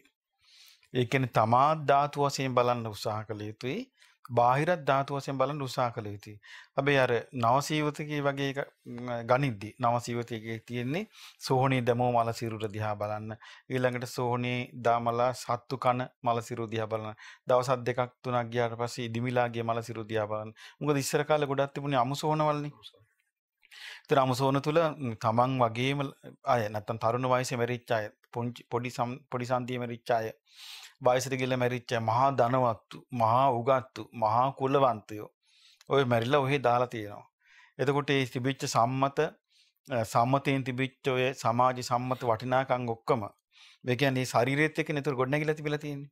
ඒතකොට මේ ශාරීරිය බල්ලෝ කනවා ඊළඟට උකුස්ස කනවා ඊළඟට හිවල්ලු ඇදගෙන යනවා. ඉතින් මේව දකින්න දකින්නකට සෝනේදී ආ මේ ස්වභාවයමයි මේ ඒවම් භාවි ඒතං අනතීතෝති මේ විදියම ස්වභාවයක් මේ ශරීරයේ තියෙන්නේ. මේ ස්වභාවය ඉක්මව නැහැ කියලා අර පිටස්තර ශරීරයකට වෙන දේ තමන්ගේ ශරීරයට වෙන හැටි බලන්න කියනවා. එතකොට මේක බුද්ධ දේශනා නිතර නිතර තියෙන කතාවක්. ඒක එක තැනක තියෙනවා ඔය දේවදත්ත ඔය සංඝයා බිදලා මේ නිරේට ගියපු සිද්ධිය මුල් කරගෙන කියන මහණෙනි කලින් කලට මේ ම්, පර සම්පatti පර විපatti අත්ත් සම්පatti අත්ත් විපatti දෙකම මෙනෙහි කරන්න කියනවා. ඒ කියන්නේ මේ මිනිස්සුන් ස- සම්පත්ති විඳගෙන මිනිස්සු සැපසේ වාසය කරන දකින්න එකට බලන්න කියනවා මමත් මේ වගේ සංසාරේ කොච්චරනම් ඉන්නේ ඇද්ද දුක් විඳින මිනිස්සු දැක්කම බලන්න කියනවා මම මේ සංසාරේ කොච්චරනම් මේ විදිහට දුක් විඳින්න ඇද්ද තමන්ට සං- මේ නානා නානා අවස්ථාවලදී දුක් විඳපු ඒවා මෙනෙහි කළා. මම මේ වගේ මීටත් වඩා සංසාරේ කොච්චර දුක් විඳින්න ඇද්ද? තමන් සැප විඳපු අවස්ථා මෙනෙහි කළා. මම මේ වගේ කොච්චර ඉන්නේ ඇද්ද? එතකොට අපිට තේරෙනවා නිරන්තරයෙන්ම අපි බොහෝ කාලයක් තිස්සේ මේ සසරේ ඇවිත් තියෙන්නේ මේ නා- නානා ප්‍රකාර විදිහේ අ- නානා ස්වභාවයට පත්වන විපරිණාමයට පත්වන ස්වභාවයෙන් යුතු ජීවිතයක් වෙළඳගෙන කියන අවබෝධය ඇති වෙනවා. ඒ අවබෝධය තමයි ඔය මේ නවසීවතිකේ එපා වඩන්න අන්තිමට නවසීවතිකේ කියනෝනේ මේ මේ චුන්නක ජාතා මේ ඇට සැකිලි දිරලා දිරලා ගිහිල්ලා හුණු වෙලා කුඩු වෙලා යනකම්ම එහෙම එකක් බලන්න කියනවා. ඒකත් බලලා කල්පනා කරන්න කියනවා මගේ මේ ශරීරයේ තියෙන දේවලුත් මේ විදිහට වෙනව නේද? මේ ස්වභාවය ඉක්මවා යන්න ඉක්මවා යන්නේ නෑ නේද කියලා මේ විදිහට බලන්න කියනවා තමාදිහා. ඊළඟට බලන්න කියනවා තමාගෙන් විතරක් නෙමෙයි. දැන් අපි මෙ- මෙහෙම ඔන්න දැන් අප- අපි සෝනට ගියා කියමු. ඔන්න සෝනිය ওই ටික ඔක්කොම බැලුවා ශරීරයට වෙන දේ. ඔන්න දැන් බාහිර දෙයක් මුල් කරගෙන තමන්ගේ ශරීරය දිහා බැලුවා. ඊට පස්සේ බලන්න කියනවා තමන්ගේ වගේම අනිත් අයගේ දිහා. දැන් ඕකත් කියනවා අර ගම ඉස්සෙල්ලා බලන්න ගෙදර ඉන්න අය ඔක්කොගෙම පස්සේ ගමේ විදිහට අර. මෛත්‍රී භාවනා කරන ආකාරයට තේම කියලා මුළු ලෝකෙම ඉන්න කියනවා කියනවා. එතකොට? දැන් නෑ මේක තියෙන්නේ දැන් ධාතු මනසිකාරය ගැන කල්පනා කිරීමේදී හැබැයි කෙනෙක් හැමතිස්සෙම පිහිටපු නෝනින් නොසිටින්න පුළුවන්. දැන් ඒක උදාහරණයක් තමයි විසාකා. විසාකා මහෝපාසිකාව දවසක් දවල් ව- දවල් වෙලාවක ඒ කාර්ය ඒ කාලේ තිබිච්ච චාරිත්‍රයක් තමයි කවුරු හරි මැරුණාම කොණ්ඩේ තෙමා ගන්නවා. ඒ කොණ්ඩේ තෙමාගෙන ඉල්ලින් තමයි මේ අවට ආය ඔක්කොම හිතන්නේ මේ ගෙදර මරණයක් වුණා කියලා. එතකොට බුදුරජාණන් දැන් විසාකා කොණ්ඩේ තෙමාගෙන බුදුරජාණන් වහන්සේ මුණ ගැහෙන්න යනවා. ගිහිල්ලා අහනවා මේ එතකොට බුදුරජාණන් වහන්සේ අහනවා විසාකා මොකද මේ මහා දවල් කොණ්ඩේ තෙමාගෙන මොකද මේ කියලා අහනවා. ස්වාමීනි මගේ මිනි බිරියක් හිටියා. මේ මිනිබිරිය හදිසියෙම ලෙඩ වෙලා මරණයට පත් වෙලා ඈ ඒ ඒ සෝහනට ගිහිල්ලා දාලා මේ එන ගමන් කියනවා. එතකොට අහනවා විස- විසාකා මිනිබිරියට ගොඩක් ආදරේද කියලා. දැන් මේ සුවන් වෙච්ච එක්කෙනානේ. අහනවා විසාකා මිනිබිරියට ගොඩක් ආදරේද කියලා. එහෙමයි ස්වාමීනි මං හරි ආදරේ මිනිබිරිය ඉන්නකොට අපේ සිටුමාලිගාව පිරිලා කියනවා. බබලනවා කියනවා. එතකොට විසාකා ආසද කියලා අහනවා ওই මිනිබිරිය වගේ මේ සවැත් නුවර සියලුම පුංචි ගෑනු ළමයි විසාකාවගේ මිනිබිරිය වෙනවට අනේ ස්වාමීනි මං හරි ආසයි කියලා මේ සවැත් නුවර සියලුම චූටි ගෑනු ළමයි පිරිවරාගෙන ඒ වගේ මිනිබිරිය ගොඩක් එක ඉන්න. එතකොට බුදුරජාන් වහන්සේ ආයෙමත් අහනවා විසාකා මේ සවැත් නුවර ඔය පුංචි වයසේ ළමයි කී දෙනෙක් මැරෙනවද කියලා අහනවා දවසකට. ස්වාමීනි දවසට එක්කෙනෙක් මැරෙනවා දෙන්නෙක් මැරෙනවා සමහර දවස්වලට 10 දිනක් මැරෙනවා කියනවා. එහෙනම් විසාකා ඔබට හැමදාම ඔය කොණ්ඩේ තෙමන් ඉන්න වෙනවනේ කියනවා. එතකොට විසාකාට සිහිය උපදින්නේ. මේ සෝවාන් වෙච්ච කෙනා. සිහිය උපදින්නේ එතකොට. එතකොට බුදුරජාණන් වහන්සේ එහෙම වදාළාම විසාකා කියන අනේ ස්වාමීනි මට ඒ මිනිබිරියත් එපා. වෙන මිනිබිරිලත් එපා කියනවා. දැන් බලන්න මේ ඒ ඒ ඒ ජීවිතයේ සම්බන්ධයෙන් මාර්ගඵල ලාභීන්ට පවා. ඒක අමතක වෙනවනේ. දැන් ඔය විදිහම අමතක වීමක් වුණානේ සීවලී මහරහතන් වහන්සේ සීවලී මහරහතන් වහන්සේ මෞකුසේ හිටියේ පෙර කර්ම විපාකයකට. අවුරුදු 7යි දවස් සති 7යි දවස් 7යි එතකොට දැන් ඉපදිච්ච ගමන් මේ දරුවා ඇවිදිනවා කතා කරනවා.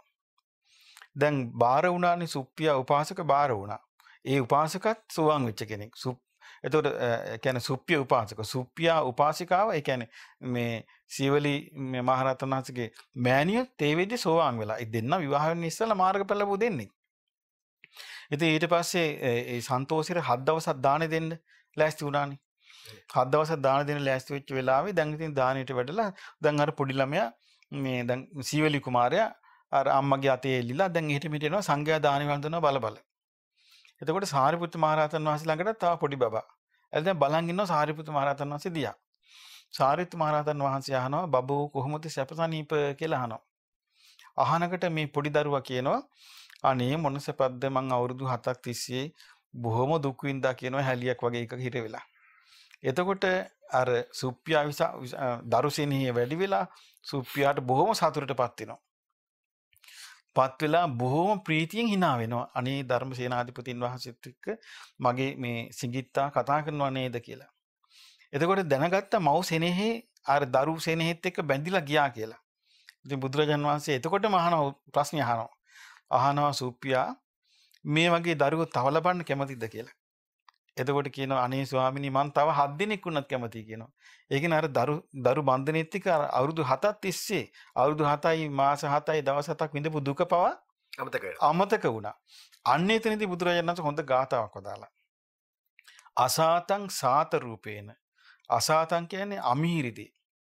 සාත රූපේන මිහිරි ස්වභාවයෙන් මිහිරි වෙස් අරගෙන අසාතං සාත රූපේන ප්‍රිය රූපේන අප්පියං අප්‍රිය දේවල් ප්‍රිය වූ වේශය අරගෙන දුක්ඛං සුකස්ස රූපේන දුක සැපේ වේශය අරගෙන පමත්ත මති වත්තති පමාද ප්‍රමාදයට පත් වූ කෙනාව යට කරගෙන යනවා කියන. කියනකටම අර සුප්පියා කියන අනේ ස්වාමීනි මට කවුරුත් එපා කියනවා. ඒ සැනින්ම අතාරිනවා. ඒක තමයි අපි දැකපු මාර්ගඵලලාභීන්ගේ ස්වභාවය. ඒ අප්‍රමාදීවම අප- ඒ කියන්නේ එක පාටම ආර්ය සත්‍ය හිත පිහිටනවා. දැන් සාමාන්‍ය මිනිස්සෙකුට ගොඩක් වෙලාව යනවා ඒ කාරණේ හිතට වටහා ගන්න. තේරුම් ගන්න ගොඩක් කල් යනවා. ඇයි එහෙම දේශනා කළේ? මොකද්ද මේකේ අර්ථය කී කී ගොඩක් වෙලා මෙනෙහි කරන්න මෙනෙහි කරන්න ඕනේ. ඒ කියන්නේ අ, අ, අමිහිරි දේවල් කොහොමද මීරි හැටියට අපිට බලපෑම් කරන්නේ? එතකොට අ- අප්‍රිය දේවල් කොහොමද ප්‍රිය වේශයෙන් අපිට බලපෑම් කරන්නේ? අ, දුක් ද- දුක් දේවල් කොහොමද සැපේ වේශයෙන් අපිට බලපෑම් කරන්නේ කියලා අපි යම්කිසි මහන්සියක් ගන්න ඕනේනේ. ඒක අර්ථ විග්‍රහ කර කර යන්න.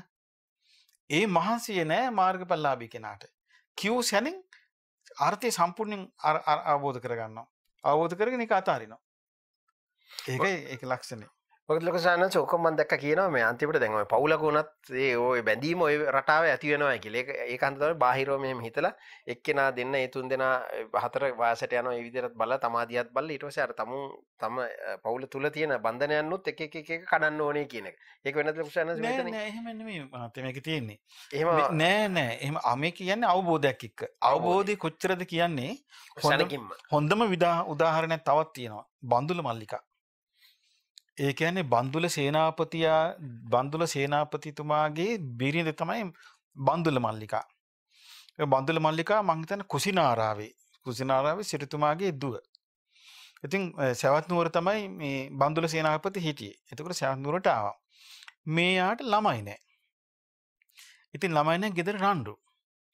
නමුත් බ- අ, එතකොට බන්දුල ම්, බන්දුල මල්ලිකාව මේ වෙද්දි අර තෙරුවන් කෙරේ බොහොම පැහැදිලා ධර්මානුකූලව බොහොම අහිංසක වෙන්න කෙනෙක්. ඊට පස්සේ ගෙදර රණ්ඩු වෙලා කිව්වා මේ ඔබට ළමයි නැහැ නුඹ වඳ ගෑණියෙක් ගෙදර පළ කිව්වා. කවදද බන්දුල සේනාපති තමයි එළෙව්වා. කල්පනා කළා මං ඉතින් මං දැන් ගෙදර යවනවනේ. මං එහෙනම් මං භාග්‍යතුන් වහන්සේ බැහැ දැකලාම යනවා කියලා. දැන් ඒ විදි සෝවන් වෙච්ච කෙනෙක් මේ. බුදුරජාන් වහන්සේ ළඟට ගියා බන්- මේ බන්දුල මල්ලිකා. අහුව ඇයි මල්ලිකා මොකෝ කියලා මේ දවල්. අනේ ස්වාමිනී මට වඳ ගෑණියක කියලා ගෙදර යන්න කිව්වා කිව්වා. ඉතින් බුදුරජාන් වහන්සේ බැලුවා අනාගතයේ මේ දරු සම්පත් තියෙනවද නැද්ද කියලා. දැක්ක දරු සම්පත් ලැබෙනවා කියලා. ගෙදර යන්න ඕනේ නැහැ කිව්වා. ආපහු යන්න කිව්වා. ඊට පස්සේ බන්දුල මල්ලික ආයෙත් ගියා බන්දුල සේනාධිපති නිවසේට. ඇයි ආවේ කියලා ඇහුවා. මට භාග්‍යතුන් වහන්සේ ආපහු මේ ගෙදරට එන්න කිව්වා. දැන් මම බය නැති වෙන කවුරු එළවෙත් මං යන්නේ නැහැ කිව්වා. ඊට පස්සේ දැන් ඉන්න හායනම් ඉන්න කිව්වා. ටික දවසක් ගියාම පුත්තු පුත්තු දෙන්නෙක් උපන්න නිඹුල්ලු. මේ වගේ දරුවෝ උපන්න 16 වතාවක්. දරුවෝ 32 32 දෙනෙක්. එතකොට මේ පුතාලා 30 දෙනෙක් ඉන්නවා. 32ක්. එතකොට 32ක් පුත්‍රයෝ ඉන්නවා දැන් බන්දුල මල්ලි eh, මල්ලිකාගේ පවුලේ. දැන් මේගොල්ලෝ එතකොට මේ පු- මේ පුත්තුන්ටත් ඉන්නවා ළමයි මේ යාළුවෝ 10 10 ගාන ඉන්නවා. දැන් මේගොල්ලෝ මහා සේනාවක් වගේ තමයි යන්නේ. ම්, මිනිස්සු පාරේ බහලා ගෙවල් වලින් බහලා බලනවා මේගොල්ලෝ පාරේ යනකොට. ඉතින් ඔහොම ඉඳලා මේ බන්දුල මල්ලිකාගේ eh, මේ මේ බන්දුල සේනාපතිට මේ ම- ඔය ළමයා හම්බ වෙනකොට දොළ දුකක් හටගත්තා. ඒ දොළ දුක හටගත්තේ විච්ච ලිච්ඡවි රජුරුවන්ගේ පොකුණේ මේ අර අභිෂේක පුස්කරණියෙන් පැන් පැන්නාලා මල් මාල පළඳින්න ඕනේ කියලා. ඉතින් ගිහිල්ලා යකඩ දැල් කඩලා මේ නාවලා එක්කන් ආවා. ඒකෙදි ලිච්ඡවි රජදරුවන්ගේ ඒ ලොකු පිරිසක් කට මීතාලයකින් විදලා මරණයටපත් වුණා. ඒක ගැන ප- ඒ ගැන පරිගැනීමේ අදහසන් හිටියා මේ ඒ- මේ- ඒ කාලේ මේ සෙම්පතියෙක්. එතකොට මොකද වුණේ මේ ඕක හිතේ තියාගෙන රජුරවන්ට කේලම් කියලා කොසල් රජුරවන්ට කිව්වා මේ රජ රජතුමනි මේ ළමයි 30 දෙන්නයි මේ මේ මේ කවුද බන්දුල සේනාධිපති ඔබ වහන්සේට විරුද්ධව කොයිලා හරි කැරල්ලක් ගහලා මේ මේ රාජ්‍යය අල්ලනවා කිව්වා. ඉතින් කියද්දි කියද්දි කියද්දි රජුරන්ට සැක හිතුණා. රජුර ඕඩර් එක දුන්නා මරවන්න. ඉතින් වෙන පළාතක අ, මේ කැ- කැරල්ලක් ඇතුණා කියලා මේගොල්ලන්ව පිටත් කළා. පිටත් කළාම අ, බන්දුල සේනාපති ළමයි 32 දෙනයි මැරෙව්වා. ඊට පස්සේ සේවකයෙක් තුණ්ඩුවක් තුණ්ඩුව කිලිලා මෙහෙම මරණයටපත් වුණා කියලා බන්- බන්දුල මල්ලිකාට ගෙනත් දුන්නා. එදා ගෙදර දානයක්. බන්දුල මල්ලිකා තුණ්ඩුව බැලුවා. දැන් තමන්ගේ ස්වාමියයි ළමයි දෙ- 32 දෙනා මැරිලා. එතකොට ඒක තුණ්ඩු ඉනේ ගහගත්තා. ඉනේ ගහගෙන දැන් දාන බෙදන හද්ද නැතුව. බලන්න මේ ධර්මය අවබෝධ කරපිගේ වාසිය. දාන බෙදද්දී වෑංජන එකක් දාසියක ගතින් වැටෙනවා. වැටෙන එකට සාරිපුත්ත මහරහතන් වහන්සේ වදාලා ආ, ඕක ඉතින් ගණන් ගන්න ඕනේ නැහැ. බිඳී යන ස්වභාවික දේවල් බිඳිලා යනවා නෝ කිව්වා. අනේ ස්වාමීනි ඕකත් මොකද්ද කියලා ඇහුවා. මම මේ ඉන්නේ මෙන්න මේ වගේ පස්සෙකට මුහුණ දාලා මේ බලන ස්වාමීනි මේ තුන්ඩුව කියලා පෙන්නවා. ඒ කියන්නේ ස්වාමියයි ළමයි 30 දෙනයි 32 දෙනයි මැරුවා කියන එක ආපු වෙලාවේ වෙන කෙනෙක් නම් දම්පොලේ එහෙමම සංඝයාගෙන් බණ අහලා අමුතු හුරතල් වෙන්න කඩාගෙන වැටෙනවනේ. ඒතර සංඝයා වට කරගෙන අනේ හා හා උපාසිකාව ඔව්වම තමයි කියලා නැලවිලි ගන්න. ඒ මුකුත් නැහැ. මුකුත් නැහැ. දැන් සාමාන්‍යයෙන් ගොඩාක් අය කඩාගෙන වැටෙන්නේ අනුන්ගෙන් නැලවිලි ගන්නනේ. අනිත් අය නලවනෝනේ එක එකවා කී කිය ආහා ඔහොම අඬන්න එපා. ඔයා ඉතින් අතපත ගගා ඉතින් නලවනෝ. ඒකෙන් නිය ආස්වාදයෙන් ඉතින් මල්ගල්ල කට්ටිය. ඒක එහෙම වෙන්නේ නැහැ මේකේ. ඇයි මේ මේ අ- අවබෝධ කරපු කෙනෙක්. එතකොට බලන්න අවබෝධ කරපු අවබෝධයක් නොතිබෙන්න එහෙම ඉන්න පුළුවන්ද? දැන් එතකොට බැඳීමකින් හිටියා. දැන් ගේ- මගේ ස්වාමියා මගේ බිරිඳ කියලා බැඳීමකින් හිටියා.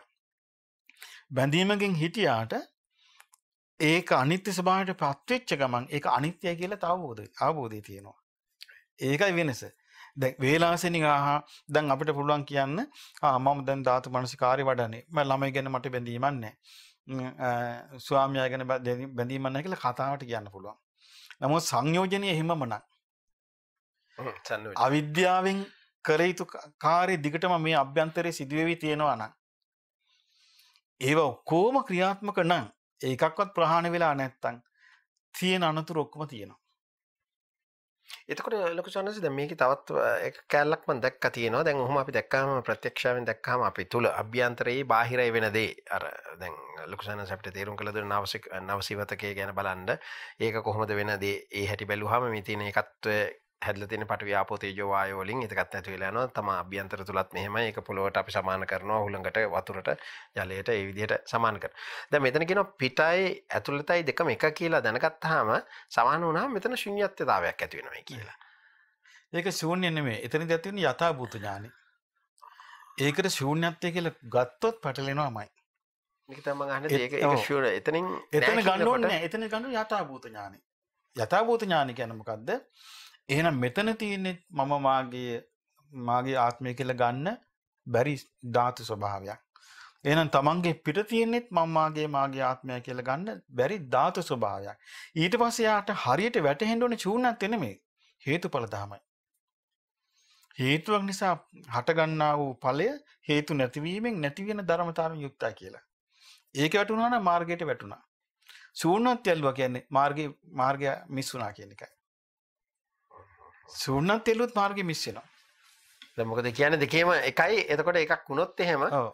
මෙතනදී මුකුත් නැහැ ඒක. තමයි. සමහර ඊට ඉස්සෙල්ලත් ඔය බුදුන්ගේ කාලෙත් ඔය තීර්ථකයන් අතරත් එකක් තියලා දෙනවා පඨවි ආපෝ තේජෝ වලින් හටගත් දෙයක් පඨවි ආපෝ තේජෝ වලින් අ, ඒ තියෙන එකකින් ආයුධයකින්වත් පඨවි ආපෝ තේජෝ තියෙන කෙනෙකු මැරුවත් ඔකෙන් ප්‍රශ්නයක් නැහැ නැහැ කියලා. අන්න ඒ කියලා. වගේ කතාවක්. අන් අන්න ඒක ශූන්‍යත්වයට යන්න පුළුවන් එකක්. ඒ කියන්නේ දැන් ඒ වගේ එකක් කතා කළොත් දැන් අපි ගත්තොත් බුද්ධ කාලේ ඔය මේ ඒ වගේ ඔය මේ ෂට් ශාස්ත්‍රවරුන් ගාව හිටපු අය ඒ වගේ මත දුන්නනේ මෙහි ඉඳලා අ, ගංගානම් ගඟේ මේ කරවල ඉඳලා අර කරවලට කපාගෙන කපාගෙන ගියත් කිසි පවක් නැහැ. ඒ කෙලවර ඉඳලා මේ කරවලට දා- දානමාන දීගෙන දීගෙන ගියත් කිසි පිනක් නැහැ. ඊළඟට ශරීරයක් ඇතුලෙන් මේ තා- ශරීරයකින් මිනිස්සෙකුට කඩුවෙන් කොටනවා කියන්නේ ධාතු ගොඩක් මැද්දෙන් ධාතු ගොඩක් යන එක කිව්වා. අන්න එතන කියන්නේ මවාගත්තු ශූන්‍යයක්. එහෙම කියලා කිව්වා ඒකන උච්ඡේදවාදය කියන්නේ. ඊට පස්සේ යා කිව්වා මරණයට පත් වුණොත් කෙනෙක් පටවි ධාතුව පටවි ධාතුවට යනවා කිව්වා. ආපෝ ධාතුව ආපෝ ධාතුවට යනවා කිව්වා. තේජෝ ධාතුව තේජෝ ධාතුවට යනවා කිව්වා. ආයෝ ධාතුව වායෝ ධාතුවට යනවා කිව්වා. ඉන්ද්‍රයන් ටිකම අහසට විසිරලා යනවා කිව්වා. මුකුත් නෑ කිව්වා. මරිමත් ශූන්‍යයි කිව්වා. ඒ නිසා ඉන්නකන් ණය වෙලා හරි හොඳට කාලා බිල සැපසේ වාසය කරපන් කිව්වා. ඒ ශූන්‍ය කියන්නේ උච්ඡේදය. මෙතනත් කියන මේ දෙක මෙහෙම බැලුවම මේකේ ශුන්‍යතාවයක් නෑ මේක ශූන්‍යතාවයක් විසින්. ප්‍රකාශ කියලා. මේක කිසිම ශුන්‍යතාව ප්‍රකාශ කරන්නේ. මේක ප්‍රකාශ කරන්නේ හේතු ප්‍රත්‍ය ධර්මතාවයයි. හේතු ප්‍රත්‍ය ධර්මතාවයට ඉලක්ක නොවි ඒ මේක මෙනෙහි කළොත් මාර්ගයට වැටෙන්නේ නෑ. මාර්ගයට වැටෙන්නේ නැති වුණාට පස්සේ Tamanට ඒ කියන්නේ මේ මාර්ගයේ වැඩිවීමක් නැති වුණාට පස්සේ ශූන්‍යතාවයෙන් යා නවතිනවා. ඒතර ශුන්‍යතාවෙන් ඇත්තටම අපිට ගත යුතු දෙයක් නෑ නේද? ශූන්‍යතාවයෙන් නෑ. ශූන්‍යතාවය දෙන්නේ ආත්ම දෘෂ්ටිය ප්‍රහාණය කිරීමටයි. එතකොට මෙතන අර මම මාගේ කියන එක දෙපැත්තට නැති වෙනවා. එතකොට සෝවන් තැනකටවත් යනවා දේ ශුන්‍යතාවය ගත්තොත්. සුවන් මාර්ගයට යනවා දැන් අපි ඔය කියපු රටාවට ගියොත්. ඒ කියන්නේ ශුන්‍යතාවය ගත්තොත් එතන සෝවන් මාර්ගය ශූන්‍යතාවට. ගියොත් යන්නේ නැහැ එහෙම. එතන මොකද මොකද ශූන්‍යතාවට ගියපු ගමන් එයා මුකුත් නැහැ හිස්නේ. වඩන්න දෙයක් නැහැ ඊට පස්සේ. එයාට විමසිමස බලන්න තියෙන්නේ මේ හේතුඵල ධර්මමයි. එතන මෙතනදී විඥානේ කොයි විදිහටද පීඨ වෙන්නේ ලොකු සනස් දැන් අර- විඥානය බලන්න කියන්නේ ධාතු ස්වභාවය කියන්නේ. එතකොට විඥානය බලන්න කිව්වොත් දැන් ඔය දැන් ඔය දැන් අපි ගත්තොත් එහෙම පඨවි ආපෝ තේජෝ වායෝ කියන මේ ධාතු ස්වභාවය බලන්න කියලා කෙනෙක් මහන්සි අරගෙන ඒ ධාතු ස්වභාවය බල බල ඉඳලා මේ ධාතු ස්වභාවය අනිත්‍ය වෙලා යනවා ජරාවටපත් වෙනවා මරණයටපත් වෙනවා මේ ඔක්කොම හේතු නිසා හටගන්න හේතු නැතිවීම නැති යන ධර්මතාවකින් යුක්තයි කියලා මේක ඒ විදිහට බලාගෙන බලාගෙන බලාගෙන යන පුරුදු වුණාම එයා සම්පූර්ණයෙන්ම හිත යොමු කරන්නේ හේතු ප්‍රත්‍ය ධර්මයන්ට. එතකොට එයා සද්ධානුසාරී ධම්මානුසාරී වගේ කෙනෙක් බවට පත් වෙන්න අවස්ථාවක් තියෙනවා. ධම්මානුසාරී වුණොත් නේ සෝවාන් වෙන්නේ. එතකොට එහෙම. එතකොට එයාට අපික මෙහෙම වෙද්දී එයාට තමන්ගේ විඥාන ස්වභාවය ගැන තේරුම් ගන්න අවශ්‍යතාවයක් වුණා කියමු. ආයෙත් එයාට ඉන්න තියෙන්නේ එහෙනම් විඥාන ස්වභාවය බලන්න හදනකොට නාම රූප ප්‍රත්‍යයෙන් හටගත්තු විඥාන ස්වභාවය. නාම රූප නැතිවීමෙන් නැති වී යන විඥාන ස්වභාවය කියලා තමයි විඥාන ධාතුව බලන්න තියෙන්නේ. එතකොට ධාතු ස්වභාවය ගන්නකොට ඒක රූපේ හැටියට ගන්න. රූපේ හැටියට ගන්නවා. එතකොට දැන් අපි ගත්තේ මේ විදිහට නේ ලොකු සනස්. ඒ කියන්නේ අභ්‍යන්තර රූපේ. විද්‍යයයි බාහිර විද්‍යයයි ගන්නවා. අරගෙන කියනවා මේකෙන් මේ දෙක සමාන වෙනවා. එතකොට. ඒ කියන්නේ එළියෙත් ඇතුළෙත් කොයි ඒ ආකාරයෙන් ගත්තත් එකයි. කියලා. එතකොට ඒක තමයි රූපය පැත්ත. එක. එතකොට ඒත් ශුන්‍යතාවයට යන්න බෑ. මොකද අර පැත්තේ තියෙනවා මේ මනසේ ක්‍රියාකාරීත්වය විඥාන ස්වභාවය විඥාන තියෙනවා. එතන. විඥාන ධාතුව වැඩ. විඥාන ධාතුව වැඩ කරනවා. එතකොට මෙතනින් ගත්ත කියලා විඥාන ධාතුවේ ක්‍රියාකාරීත්වය නිදහස් නේ. වෙන්නේ නිදහස් වීමක් නැහැ. මම ඒකයි ශූන්‍යතාවයක අපි ගත්තොත් තමන්ගේ මේ නුවණෙන් මෙනෙහි කිරීම බ්ලොක් වේ. නවති. ඊට වඩා දෙයක් වෙන්නේ. හැබැයි අර සමහර අයට මම දන්නවා සමහර යෝගීන්ට ওই ප්‍රශ්න වෙනවා. කොහොමද වෙන්නේ? දැන් පුරුදු කරනවන්නේ මේ අතාරින්න අරමුණු. දැන් අපි ගත්තොත් මේ ආපෝ තේජෝ වායෝ මේවා මේ අනිත්‍ය අනිත්‍ය කිය කිය අතාරින්න පුරුදු කරගමු. සමහරට මේ අනිත්‍ය කිය කිය අතාරින්න පුරුදු කරනකොට මේ හිතේ හිත හැදෙනවා මේ ඒ අරමුණ නොගෙන ඉන්න. අරමුණ නොගෙන ඉන්න පුරුදු වුණාම හිත නිකන් හිස් වගේ ස්වභාවයක් තමයි Tamanට අරමුණු වෙන්නේ. මුකුත් අරමුණක් ගන්න. අරමුණක් වෙන්නේ නැතුව. ඒක අර බ්ලොක් කරනවා වගේ. බ්ලොක් කරනවා වගේ. හැබැයි එහෙම වෙච්ච ගමන් වෙන්නේ මේක අරමුණු නොගෙන නොගෙන හිටපු ගමන් හිත නින්දට වැටෙන්නෙත් නෑ. හැබැයි හිත හැංගෙනවා. හිත ඇඟිච්ච ගමන් මානසිකාර කරගන්න බැරුව යනවා. මානසිකාර කරගන්න බැරි වෙච්ච ගමන් සිහිය පවත්වන්න බැරුව යනවා. සිහිය පවත්වන්න බැරි වෙච්ච ගමන් නිින්ද ගියා වගේ Taman දන්නේ. හැබැයි නිදිත් නැහැ. භාවනාව වාඩිලත් ඉන්නවා. එතකොට ඒකේ ඒක මේ සංඥා වේදහිත ඒ තත්ත්වය නෑ ලාබාල ශූන්‍ය ශුන්‍ය එකක්. එතකොට ඊට පස්සේ මොකද වෙන්නේ? එහෙම වෙලා අ, ආ, මා අපි කියමු ඔන්න පැයක් විතර ඉඳලා ඔන්න දැන් මෙයාට ඔන්න ආයේ සිත දැනෙන්න ගන්නවා. මොකද ඒක හිත හැංගිලා දිගටම තියෙන්නේ නැහැ. එයාගේ වීර්ය ප්‍රමාණය තමයි ඒක තියෙන්නේ. එතකොට ඒක දැනෙන්න ගන්නවා. දැනෙන්න ගත්තට පස්සේ දැන් මෙයාට හිතෙනවා මොක- මොකද්ද දැන් මේ වුනේ මම මේ භාවනා කර හිටියේ දැන් මොකද්ද උනේ කියලා ඔන්න දැන් අතරමං වෙච්ච ස්වභාවයක්. ඊට පස්සේ ඕන දැන් එයා කල්පනා කරනවා මම දැන් ආ, ධාතු මනසිකාරිනි වඩ වඩ හිටියේ. දැන් නොදන්නා කෙනෙකුට කිව්වනම් එයා මේ ගැන ම්, ගැන හොඳට දන්නේ නැති අධ්‍යයනයක් නොකරපු කෙනෙකුට කිව්වනම් කියයි ආ ඔයා ඵලයටපත් වුණා කියයි. ඵල සමාපත්තියටපත් වුණා කියයි. ඔය අසංකාර ධාතුවට ගියා කියයි. දන්නේ නැහනේ. කෙනෙක් කියන්නේ ඔය ශුන්‍යතා ශුන්‍යත සමාධිය කියයි. මොකද ලොකු සනාංශ මට මතක විට ඉස්සලත් අපේ වැඩසරහනක් කියට අර පටවි ආපෝ තේජෝ වායෝ විඤ්ඥාන කියලා සමහර තැන්වල අරන් තියෙනවා සනාංශ? ආකාස විඤ්ඥාන කියලා. ආකාශ විඤ්ඥාන කිය ධාතු හයම වඩන්න කියලා තියෙනවා ධාතු හයම වඩන්න එතකට ආකාශ විඤ්ඥාන කියන ස්පේස් කියන එක ඔව්, එතන space කියන එක, ඔව්. කියන ඉඩකඩ. පුඩ්ඩක් අපිට ඒ කියන්නේ දැන් ස්පේස් කියන එක යමක්. පවතින තියෙන ඉඩකඩ ඉඩකඩ. ඉඩකඩේ ස්වභාවය තමයි යමක් පවතින ඉඩකඩ යමක් ආදේශ වෙච්ච ගමන් එක නැති වෙලා යනවා ඒ කියන්නේ අපේ බඩ වුණත් ඒක ඕනම දෙයක් එහෙම දැන් අපි ගත්තොත් අපේ දැන් අපි පිපාසෙන් ඉන්න වෙලාවක අපේ අපේ ආමාශය හිස්. එතකොට ඒක ඉඩක් තියෙනවා යම්කිසි දෙයක් දාන්න. අපිගේම අපි හොඳට වතුර බිව්වා. වතුර හොඳට පිරෙන බිවට පස්සේ වෙන ඊට පස්සේ තව කෙනෙක් ඇවිල්ලා අපිට හොඳ කූල් ඩ්‍රින්ක්ස් එකක් මොනවා හරි ප්‍රණීත දෙයක් ගෙනත් දෙනවා නමුත් අපි කට ගාවට උගුර ගාවට වතුර බීලා. දැන් උගුර ගාවට වතුර බිව්වා කියලා අපිට අර ආස කළත් අරක බොන්න පුළුවන් ද අපිට? බෑනේ. බොන්ඩ බෑ. ඇයි? ඒතු එතන ස්පේස් එකක් නෑ තිබිච්ච ස්පේස් එක වතුරෙන් වැහිලා. මේ වගේ අර ස්පේස් කියල කියන්නේ යමක් පවතින්න තියෙන ඉඩකඩ. එතකොට යමක් දැන් අපි ගත්තොත් ඒ ඒ ඒ ධාතු ස්වභාවය. ඒකෙන් ආකාශ නැමැති ධාතු ස්වභාවය ගැන බුදුරජාණන් වහන්සේ විස්තර කරලා තියෙන්නේ කන් සිදුර නාස් සිදුර වගේ නම් වලින් තියෙන්නේ. ඒකින් අපි අර්ථ ගන්න ඕනේ. මේ මේකයි මේ විස්තර වෙන්නේ කියලා. එතකොට ඒ ස්වභාවයේ ස්පේස් වල එහෙම නැත්නම් ඉඩකඩේ ඉඩකඩේ අ- අවකාශයේ ස්වභාවය තමයි යමකට ඉඩ දීලා ඉඩ දීපු ගමන් ඒ අවකාශය එතන ඇහිරිලා යන එක. දැන් එතකොට දැන් මෙතන වීදුරු ගොඩාක් තිබ්බොත් මෙතන තියන්න තියෙන අවකාශය ඇහිරිලා යනවා.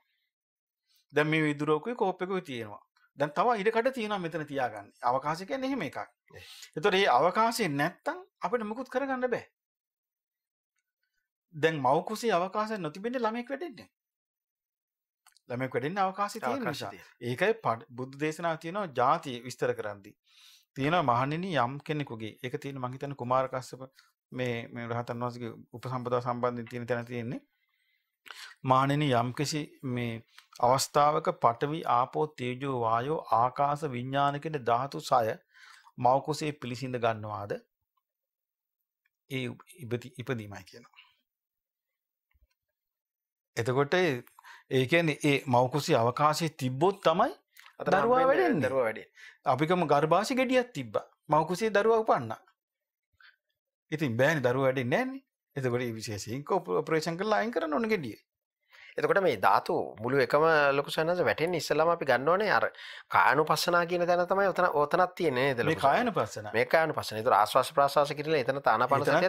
පස්සන කාය ප්‍රතිබද්ධයි. කත ප්‍රතිපදයි ඊට පස්සේ අවසන් වෙන්නේ මේ වගේ විදිහකට එන්න පුළුවන් ලොකු සනස ඒ කියන්නේ ආ- ආස්වාස් ප්‍රාස්වාස කිරීමත් ධාතු මනසිකාරයකට ඔව්, දැන් මේ කරලා හොඳ ප්‍රවේශයක්නේ. ප්‍රවේශය ඒ කියන්නේ දැන් මේක ඕලාරික අරමුණක තියෙන ප්‍රවේශය.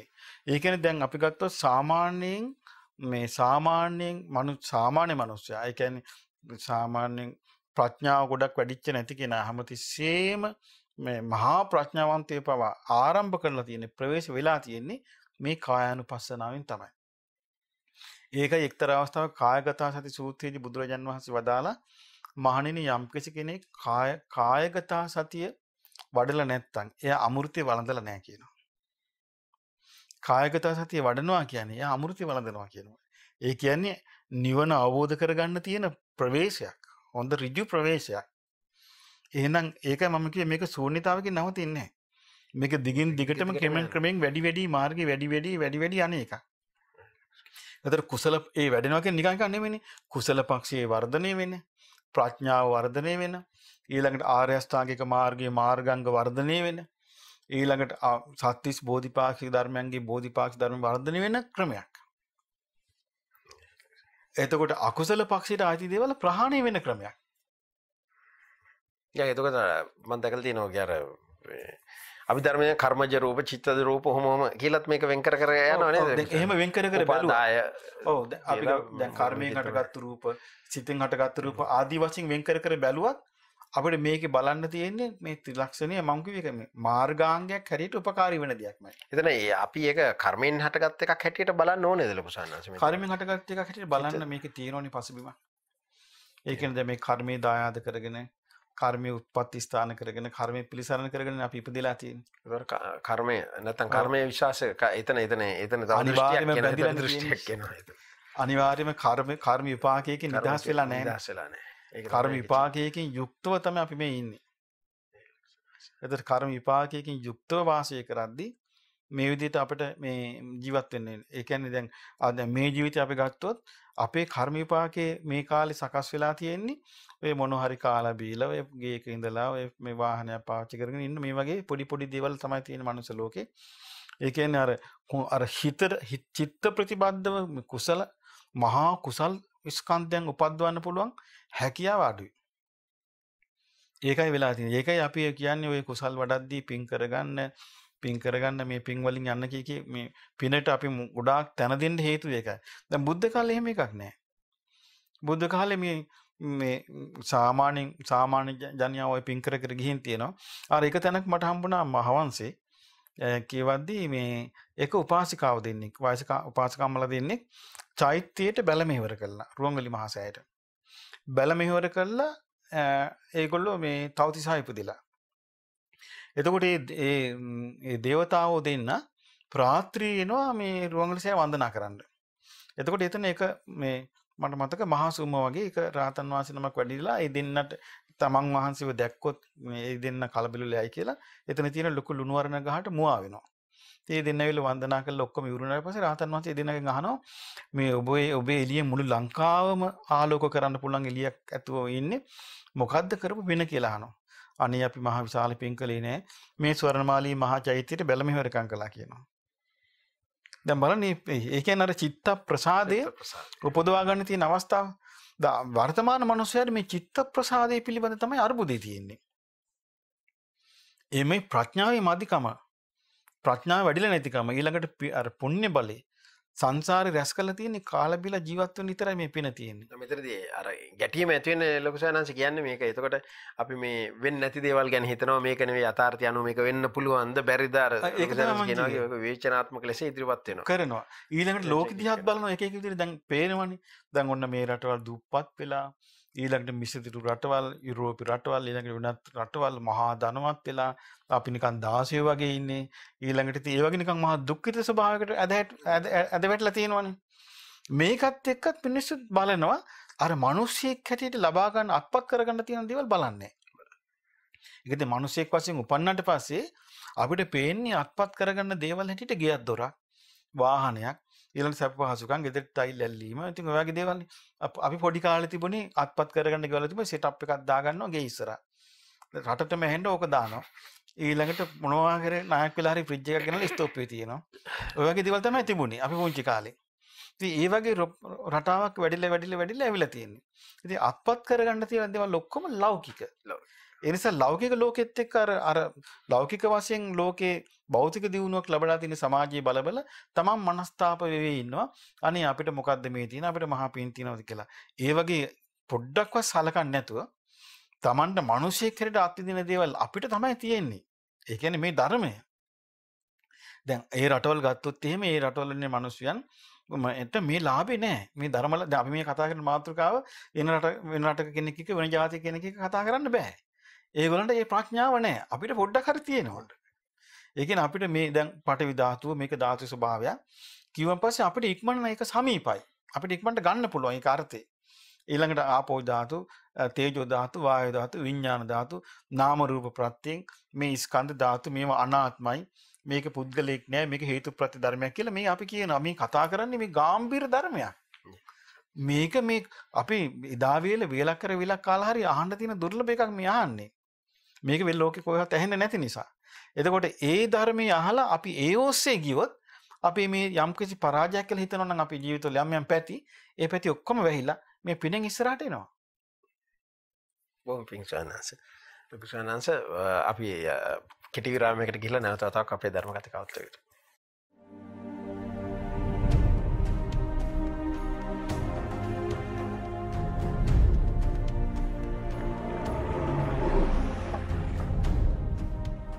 නමෝ බුද්ධාය.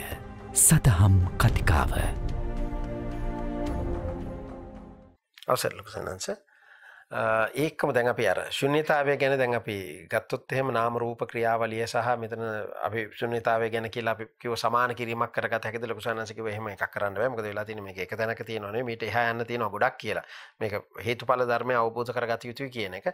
විඥාන ධාතුව කෙසේද පීඩාර තියෙන්නේ කියන එකත් ඒ සම්බන්ධව අපි කතා කරා පටිව්‍යාපෝ තේජෝ ආයෝ සහ මේ මොකක්ද ආකාශ සහ විඤ්ඥාන කියන ලොකුසන් දැ මෙතනින් එහාට අපි ගත්තොත් දැන් සමුදේවාය කියලා තියෙනවාන තව කොටසක් ලොකුසනස දැන් මෙතනදී ශුන්්‍යතාවයක් එක් අපි මෙතනින් යනවද? නැත්තන් මේක සමුදවායට සම දැන් ශුන්්‍යතාවක් නැහැ කියෙන් තැන්ට අපි යාව ලොකුසන අපිට ලොකු ලොකු පැදිල් කිරීමක් ලොකුසන් නැතව අතරමගේ නොහක්කය වැලුවම තාම තන ඔතන තම හිරවෙන තැන එත එතනයි අර ආරම්භේදී අර පහස කියන එක ලොකු සයන්සිකේ නැත්නම් ඔතන ගන්න පොට්ටබ්බේ කියන්නේ පස්ස හැටියට අරගෙන ඔතන ලොකු ප්‍රශ්නයක් තියෙනවා.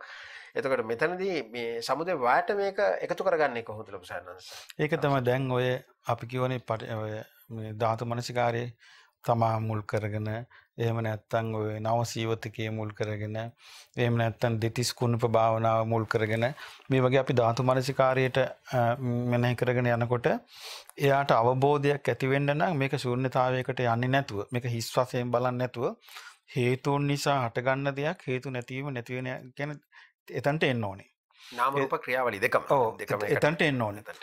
හේතුන් නිසා හටගන්නවා කියන්නේ සමුදේ ධම්ම. හටගන්නා වූ ස්වභාවය දැනගැනිල්ලයි. හේතු නැතිවීමෙන් නැතිවෙනවා කියන්න වය දම්ම. නැසින්නා වූ ස්වභාවය දැනගැනිල්ලයි. ඒක ඉලක්ක වෙන්නේ නෑ සූනිතාවෙන් කොච්චර කළත්. සූනිතාවට අරමුණු අතාරෙන්ට පුරුදු වුණොත් මෙයාට හේතු ප්‍රත්ති දකින්න තියෙන අවස්ථාව නැතු යනවා. හේතු ප්‍රත්ති දකින තියෙන අවස්ථාව නැති වුණොත් සමුදේ ධම්මානු පස්සීවා කායස්මින් විරති වය ධම්මානු පස්සීවා කායස්මං කායස්මින් විරති සමුදේ වය ධම්මානු පස්සීවා කායස්මං විරති. එතකොට මේ හේතු නිසා හටගන්න ස්වභාවය හේතු නැතිවීමෙන් නැති වෙන ස්වභාවය කියලා ඒ ස්වභාවයෙන්ම බලමින් වාසය කරන කරන මොකද වෙන්නේ? අත්ථි කායෝතිවා 50 සති සච්චි පච්චපට්ඨිතා හෝති. එතකොට මෙයාට ඇති වෙන හැඟීමක් මොකද්ද හේතු ප්‍රත්‍ය හටගන්නා ස්වභාවය නැති වෙන ස්වභාවයෙන් යුක්තු අනිත්‍ය වූ දුක්ඛ අනාත්ම වූ කයනං වූ ස්වභාවයක් ඇත්තේය කියන එක හිත පීටනවා. යාවදේව ඥානමත්තාය පතිස්සති මත්තාය අනිසිතෝච විහෙරති. අන්න ඒ කෙනාගේ ඥානයේ වැඩිම පිණිස සිහිය මනාකොට වැඩිම පිණිස මමේ මාගේ කියා නොවැල්මින් වාසය කිරීම පිණිස හේතු වෙනත කිංචි ලෝකේ උපාදීති. අන්න එයා කිසිවක් ග්‍රහණය නොකර ඉන්නවා. ඒතර මේ ඔක්කොම තියෙන්නේ ශූන්‍යතාවයට යන්න නොදී ඒක බැලුවොත් විතරයි. ශූන්‍යතාවයක් ගැන කතා කරපු ගමන් ඒ වෙලාවේ ඒ ලෝකේ යන විලාසිතාවකට යයි. නමුත් ඒක අවබෝධයක් කර යන්න විදියක් නැහැ. මොකද අවබෝධය එන්න තියෙන්නේ බොහොම පිළිවෙලින් පිළිවෙල. සමුදේශාවයි. ඒ දෙක තියෙන්නේ. ඒ දෙකෙන්ම තමයි අවබෝධය එන්නේ. ඒ දෙකම තමයි දිගින් දිගටම කරන්න තියෙන්නේ. ඒ දෙකෙන්ම තමයි දිගින් දිගට කෙනෙකුට වටහා ගන්න තියෙන්නේ. මොකද ඒක හරියටම වටහා ගන්න වටහා ගන්න මොකද හේතුව දේශනාවේ තියෙන්නේ කොහොමද? යමක් අනිත්‍යද ඒක තමයි දුක. යදනිච්ඡං තන් දුක්ඛං. අනිත්‍ය තමයි සමුදේවය කියන්නේ. හේතු අනිත්‍ය ධර්මය කියලා අපි විස්තර කරන්නේ හේතුන් නිසා හට ගන්නවා හේතු නැතිවීම නැති වෙනවා. ඒක තමයි අනිත්‍ය කියන්නේ. එතකොට ඒක දැක්කද යද නිච්චං යමක් අනිත්‍යද ඒ දුකයි. ඒ දුක කියන්නේ මොකද ඒක සාර වශයෙන් ගන්න මොකුත් නැහැ. එතන තමයි ජරා මරණ ශෝක වැළපින් දුක් දුම්නස් ඔක්කොටම කාරණාව. මේ අනිත්‍ය වීම. ඒ කියන්නේ හේතු නිසා හට ගන්නවා. හේතු නැතිව නැති වෙනවා. ඉතින් මේ ධර්මතාවය දන්නේ නැති එක්කෙනා මේ ජරාවට පත් වෙනකොට ලෙඩ රෝගවලට පත් වෙනකොට මරණයට පත් වෙනකොට අනේ මෙහෙම වුණා මෙහෙම වුණා කිය වැළපි වැළපි පසුතැවි තැවි ඉන්නවා. ඒක තමයි දුක. යදනිච්ඡං තන් දුක්ඛං. ඒක තමයි දුක්ඛිත ස්වභාවයට පත් වීම. යම් දුක්ඛං යම දුකද තදනත්තා. එතන මමයේ මාගේ කියලා එකක් නැහැ. එතකොට මමයේ මාගේ කියලා එකක් නැහැ කියන එක අවබෝධ වෙන්න මේක දුකක් හැටියට අවබෝධ වෙන්න සමුදේ ධම්ම, වය ධම්ම කියන ධර්මතාවය තේරුම් ගන්න ඕනේ. ඒ ධර්මතාවය තේරුම් ගැනීමට තමයි මේ කායानुපස්සනාව ධාතු මනසිකාරේ ඉරියාපත ආනාපාන මේ ඕනම කායानुපස්සනාවට අයිති වේදනානුපස්සනා චිත්තානුපස්සනා ධම්මානුපස්සනා මේ හැම එකකටම බුද්ධ දේශනාවේ තියෙන ඔන්න ඔය අවසානය කර අරන් යන්නයි. එතකොට මෙතන ලොකු සන්නංශ කියන්නේ සමාන කිරීමක් නෙවෙයි ඇත්තට අපි කළ යුත්තේ. බාහිරත් අභ්‍යන්තරයේත් ඇතිවෙන්නා දේ හේතු ප්‍රත්‍යයෙන් ඇතුණා හේතු ප්‍රත්‍යයෙන් ඒ විදිහට දක් යථාභූත ඥානට යන්න ඕනේ. සමාන කරලා වැඩක් නැහැ. මොකද යථාභූත ඥානයක් කරා යන්නේ නැත්තම් මොන්න තරම් ලෝකෙත් එක්ක සමාන කළත් පළක් නැහැ. සමාන කරනවා නම් සමාන කරන්න ඕනේ. පඨවි ධාතුව මහ පොළොවට සමාන කරන්න ඕනේ. ආපෝ ධාතුව ජලයට සමාන කරන්න ඕනේ. තේජෝ ධාතුව උණුසුම් දෙයකට සමාන වායු ධාතුව හුලඟට සමාන කරා නම් පාඩුවක් නැහැ. ඒ කියන්නේ මේකේ අවසානයේ ඔව් නෑ සාමාන්‍ය වැඩුව සාමාන්‍ය වැඩුවා. පාඩුවක් නෑ ඒකේ. මේක එහෙම නැතුව මේ දෙකේම මුකුත් නෑ හිස් කියලා ගත්ත ගමන් පාඩු. එතකොට ලොකු සානංශ කියන්නේ අපිට සෑහෙන ලොකු ගමනක් යන තියෙන. කියන්නේ පඨවි ආපෝ තේජෝ වායෝ කියලා බෙදලා බලාගෙන ඉඳලා වැඩක් වෙන්නේ නැහැ. වැඩක් නෑ මේ බෙද බෙද විග්‍රහ කර කර අර්ථය ගන්න ඕනේ. අර්ථය තමයි සමුදේ ධම්මානුපස්සීවා කායස්මෙන් විහෙරති. වය ධම්ම වය ධම්මානුපස්සීවා කායස්මෙන් විහෙරති. එතනට අර්ථය ගන්න ඕනේ. ඒ අර්ථය අහුන්නේ නැත්නම් එයාට අහුවෙලා අහුවෙලා නෑ. මොකද අපේ හුඟක් වෙලාට අපි හිතන්න බලන්නේ භාවනාවක යෙදෙනවා නම් මේක පටවි මේක පටවි මේක මේක මෙහෙම නෑ ඒකට හේතුව. මහත්තයා. නෑ අපිට හේතුව ඒක නෙමෙයි. ප්‍රධාන වශයෙන් අපිට හේතුව තියෙන්නේ අපිට ම, නිරන්තරයෙන් පවත්වන වීරියක් නැතිකම. සාමාන්‍යයෙන් භාවනාව කරන කෙනෙක් පැයක් පැය භාගයක් ඇතුළත යා කරන ටික ඉවර කරන තමයි යාගේ අදහස. එතකොට ඒක නා හරි කැමති එම්, භාවනාව අ, පඨවි ධාතු ඔන්න පඨවි ධාතු කොටස් ටික බලාගෙන ගියා. ආපෝ ධාතුවේ කොටස් ටික බලාගෙන ගියා. තේජිත ඔන්න බලාගෙන හිත පොඩ්ඩක් තැම්පත් වුණා. ටික ටික ශූන්‍ය වෙලා හිස් වෙලා ගියා. දැන් එයා සැටිස්. දැන් දැන් එයා කල්පනා කරනවා මම භාවනා කළා දැන් ඔන්න මෙතනට දැන් මා ශූන්‍යතාවයට ආවා. ආ දැන් හරි. දැන් පැය භාගයකින් එයා ඕම සෑහීමටපත් වෙලා නැගිටිනවා. එහෙම එකක් නෙමේ රටේ යන්නේ. එහෙම නැතු මේ ක්‍රමානුකූලව තේරුම් අරන් තේරුම් අරන් යන එකක් නෙමෙයි. මේක තියෙන එහෙම එකක් නෙමෙයි නොනව තියෙන වැඩපිළිවෙලක්. නොනව තියෙන වැඩපිළිවෙලකට තමයි අපි යන්න ඕනේ. නොනව තියෙන වැඩපිළිවෙලට බැස ගැනීම කෙනා බැසගත් එක්කෙනාට සෝවාන් වෙනවා කියන්නේ. සෝතාපන්න කියලා කියන සෝත කියලා කියන්නේ ආර්ය අෂ්ටාංග මාර්ගය. ආපන්න කියන්නේ බැස ගන්නවා. ඒකට බුදුරජාන් වහන්සේ සෝත කියලා කියන්නේ ආර්ය අෂ්ටාංග මාර්ගෙ නෙමෙති සැඩපහර. ඒක උපමාවකට තියෙනෝනේ ගංගා හැටියට. ගඟ හැටියට. ගඟ ගඟට ලී කොටේ වැටුනහම ඒ ලී කොටේ මේ පැත්තට මෙගොඩට ගහලත් නැත්තම් එගොඩට ගහලත් නැත්තම් මැද්දේ කන්දක හිර වෙලත් නැත්තම් මිනිස්සු ඇදගෙනත් නැත්තම් දෙවියෝ ඇදලත් නැත්තම් ඇතුළෙම කුණු වෙලත් නැත්තම් ඒ මින්- ඒ ඒ වතුර පාර සීක්‍රයෙන් යන්නේ සාගරය දක්වා කියනවා. ඒක සාගරයට වැටෙන එක. ඉතින් මේක අර ලී කොටේ වතුරට දාගන්නා වගේ මේ බොහොම අ, අ, බොහොම කල්පනාකාරීව හිමින් හිමින් ඉවසීමෙන් පුරුදු කර කර ගෙනියන්න ඕන එකක්. කලබලයට මේ පැකින් හමාරකින් සෑහීමට පත්වන එකක් නෙමෙයි මේ තියෙන්නේ. අනිත් එක මේකේ බලනකොට ලොකු සානංශ එකකට එකක් සම්බන්ධතාවයක් එකට එකක් සම්බන්ධය අනිවාර්යෙන්ම කායනුපස්සනාව කරා කියලා අරකට තනිකරම වෙනස්ව ගමනක් යන්නේ කන්නේ අන්තිමට හේතු ප්‍රක්ෂයෙන් ඇති වුණා නම් හේතු ප්‍රත්‍යයම නැති ඒකන දම්මානුපස්සනාවට එනවා ඒක ධම්මානුපස්සනාව. ධම්මානුපස්සනාවට එන්න ඕනේ. දම්මානුපස්සනාවට එනවා සතිපට්ඨානෙට එනවාමයි. ඒ. සතර සතිපට්ඨානෙට එනවාමයි. ලොකු සානංශ අවසර ලොකු සානංශ මේ වටනා පැහැදිලි කිරීමක් ඒකත් එක්ක මේ තව ප්‍රශ්නයක් අද ඇවිල්ලා තියෙනවා මේ අද වැඩසටහනෙන් ලොකු සානංශට ඉදිරිපත් කරන්නයි කියලා ලොකු සානංශ. මේක මේ අහලා තියෙන්නේ මේ ලොකු සානංශයව ඇගීමකටත් ලක් කරලා තියෙනවා ලොකු සානංශයට වැඩි කැමතිද මම දන්නවා. මේක මේ ප්‍රශ්නයක් ඇටියට දාලා තියෙනවා මේක මේ අ, ඉපෙදෙමින් මැරෙමින් සිටින බව සෑම ෂණයකම චිත්තක්ෂණයකම මේ සිදුවන බව කොහොමද පැහැදිලි කරන්න මම පාලි දන්නේ නැහැ. මේ රූපය පෙනපිඩියුවකට උපමා කර දෙය සම්බන්ධ කර සම්බන්ධ දෙයක්ද? මේ බුද්ධ දේශනාවල තියෙන දෙයක්ද මේ? චික්ෂ- චිත්තක්ෂණයක් පාසා වෙනස් වෙන සිතුවිලි පෙනපිඩියුවකට සමාන දෙයක්ද? මේ බුද්ධ දේශනාවේ තියෙන එකක්ද කියලා අහලා තියෙනවා. මෙන්න මේ හා සම්බන්ධව අවස්ථාවක් හරි. තියෙනවා නම් ලොකු සයන්නාංශකින් දැන ඒක ඒක පස් දෙකක් තියෙනවා. ඒ කියන්නේ චිත්ත ස්වභාවයක් ක්ෂණයක් ක්ෂණයක් පාසා නැති වෙලා යනවාද? රූපේ පෙන පිඩුවද කියලා යන්නේ. ඕකට අ, මම කලිනුත් මේ මං හිතන්නේ මේක කතා කරලා තියෙනවා. නමුත් මම මේකේ ඒ දෙකටම පැහැදිලි උත්තර දෙකක් දෙන්න කැමතියි.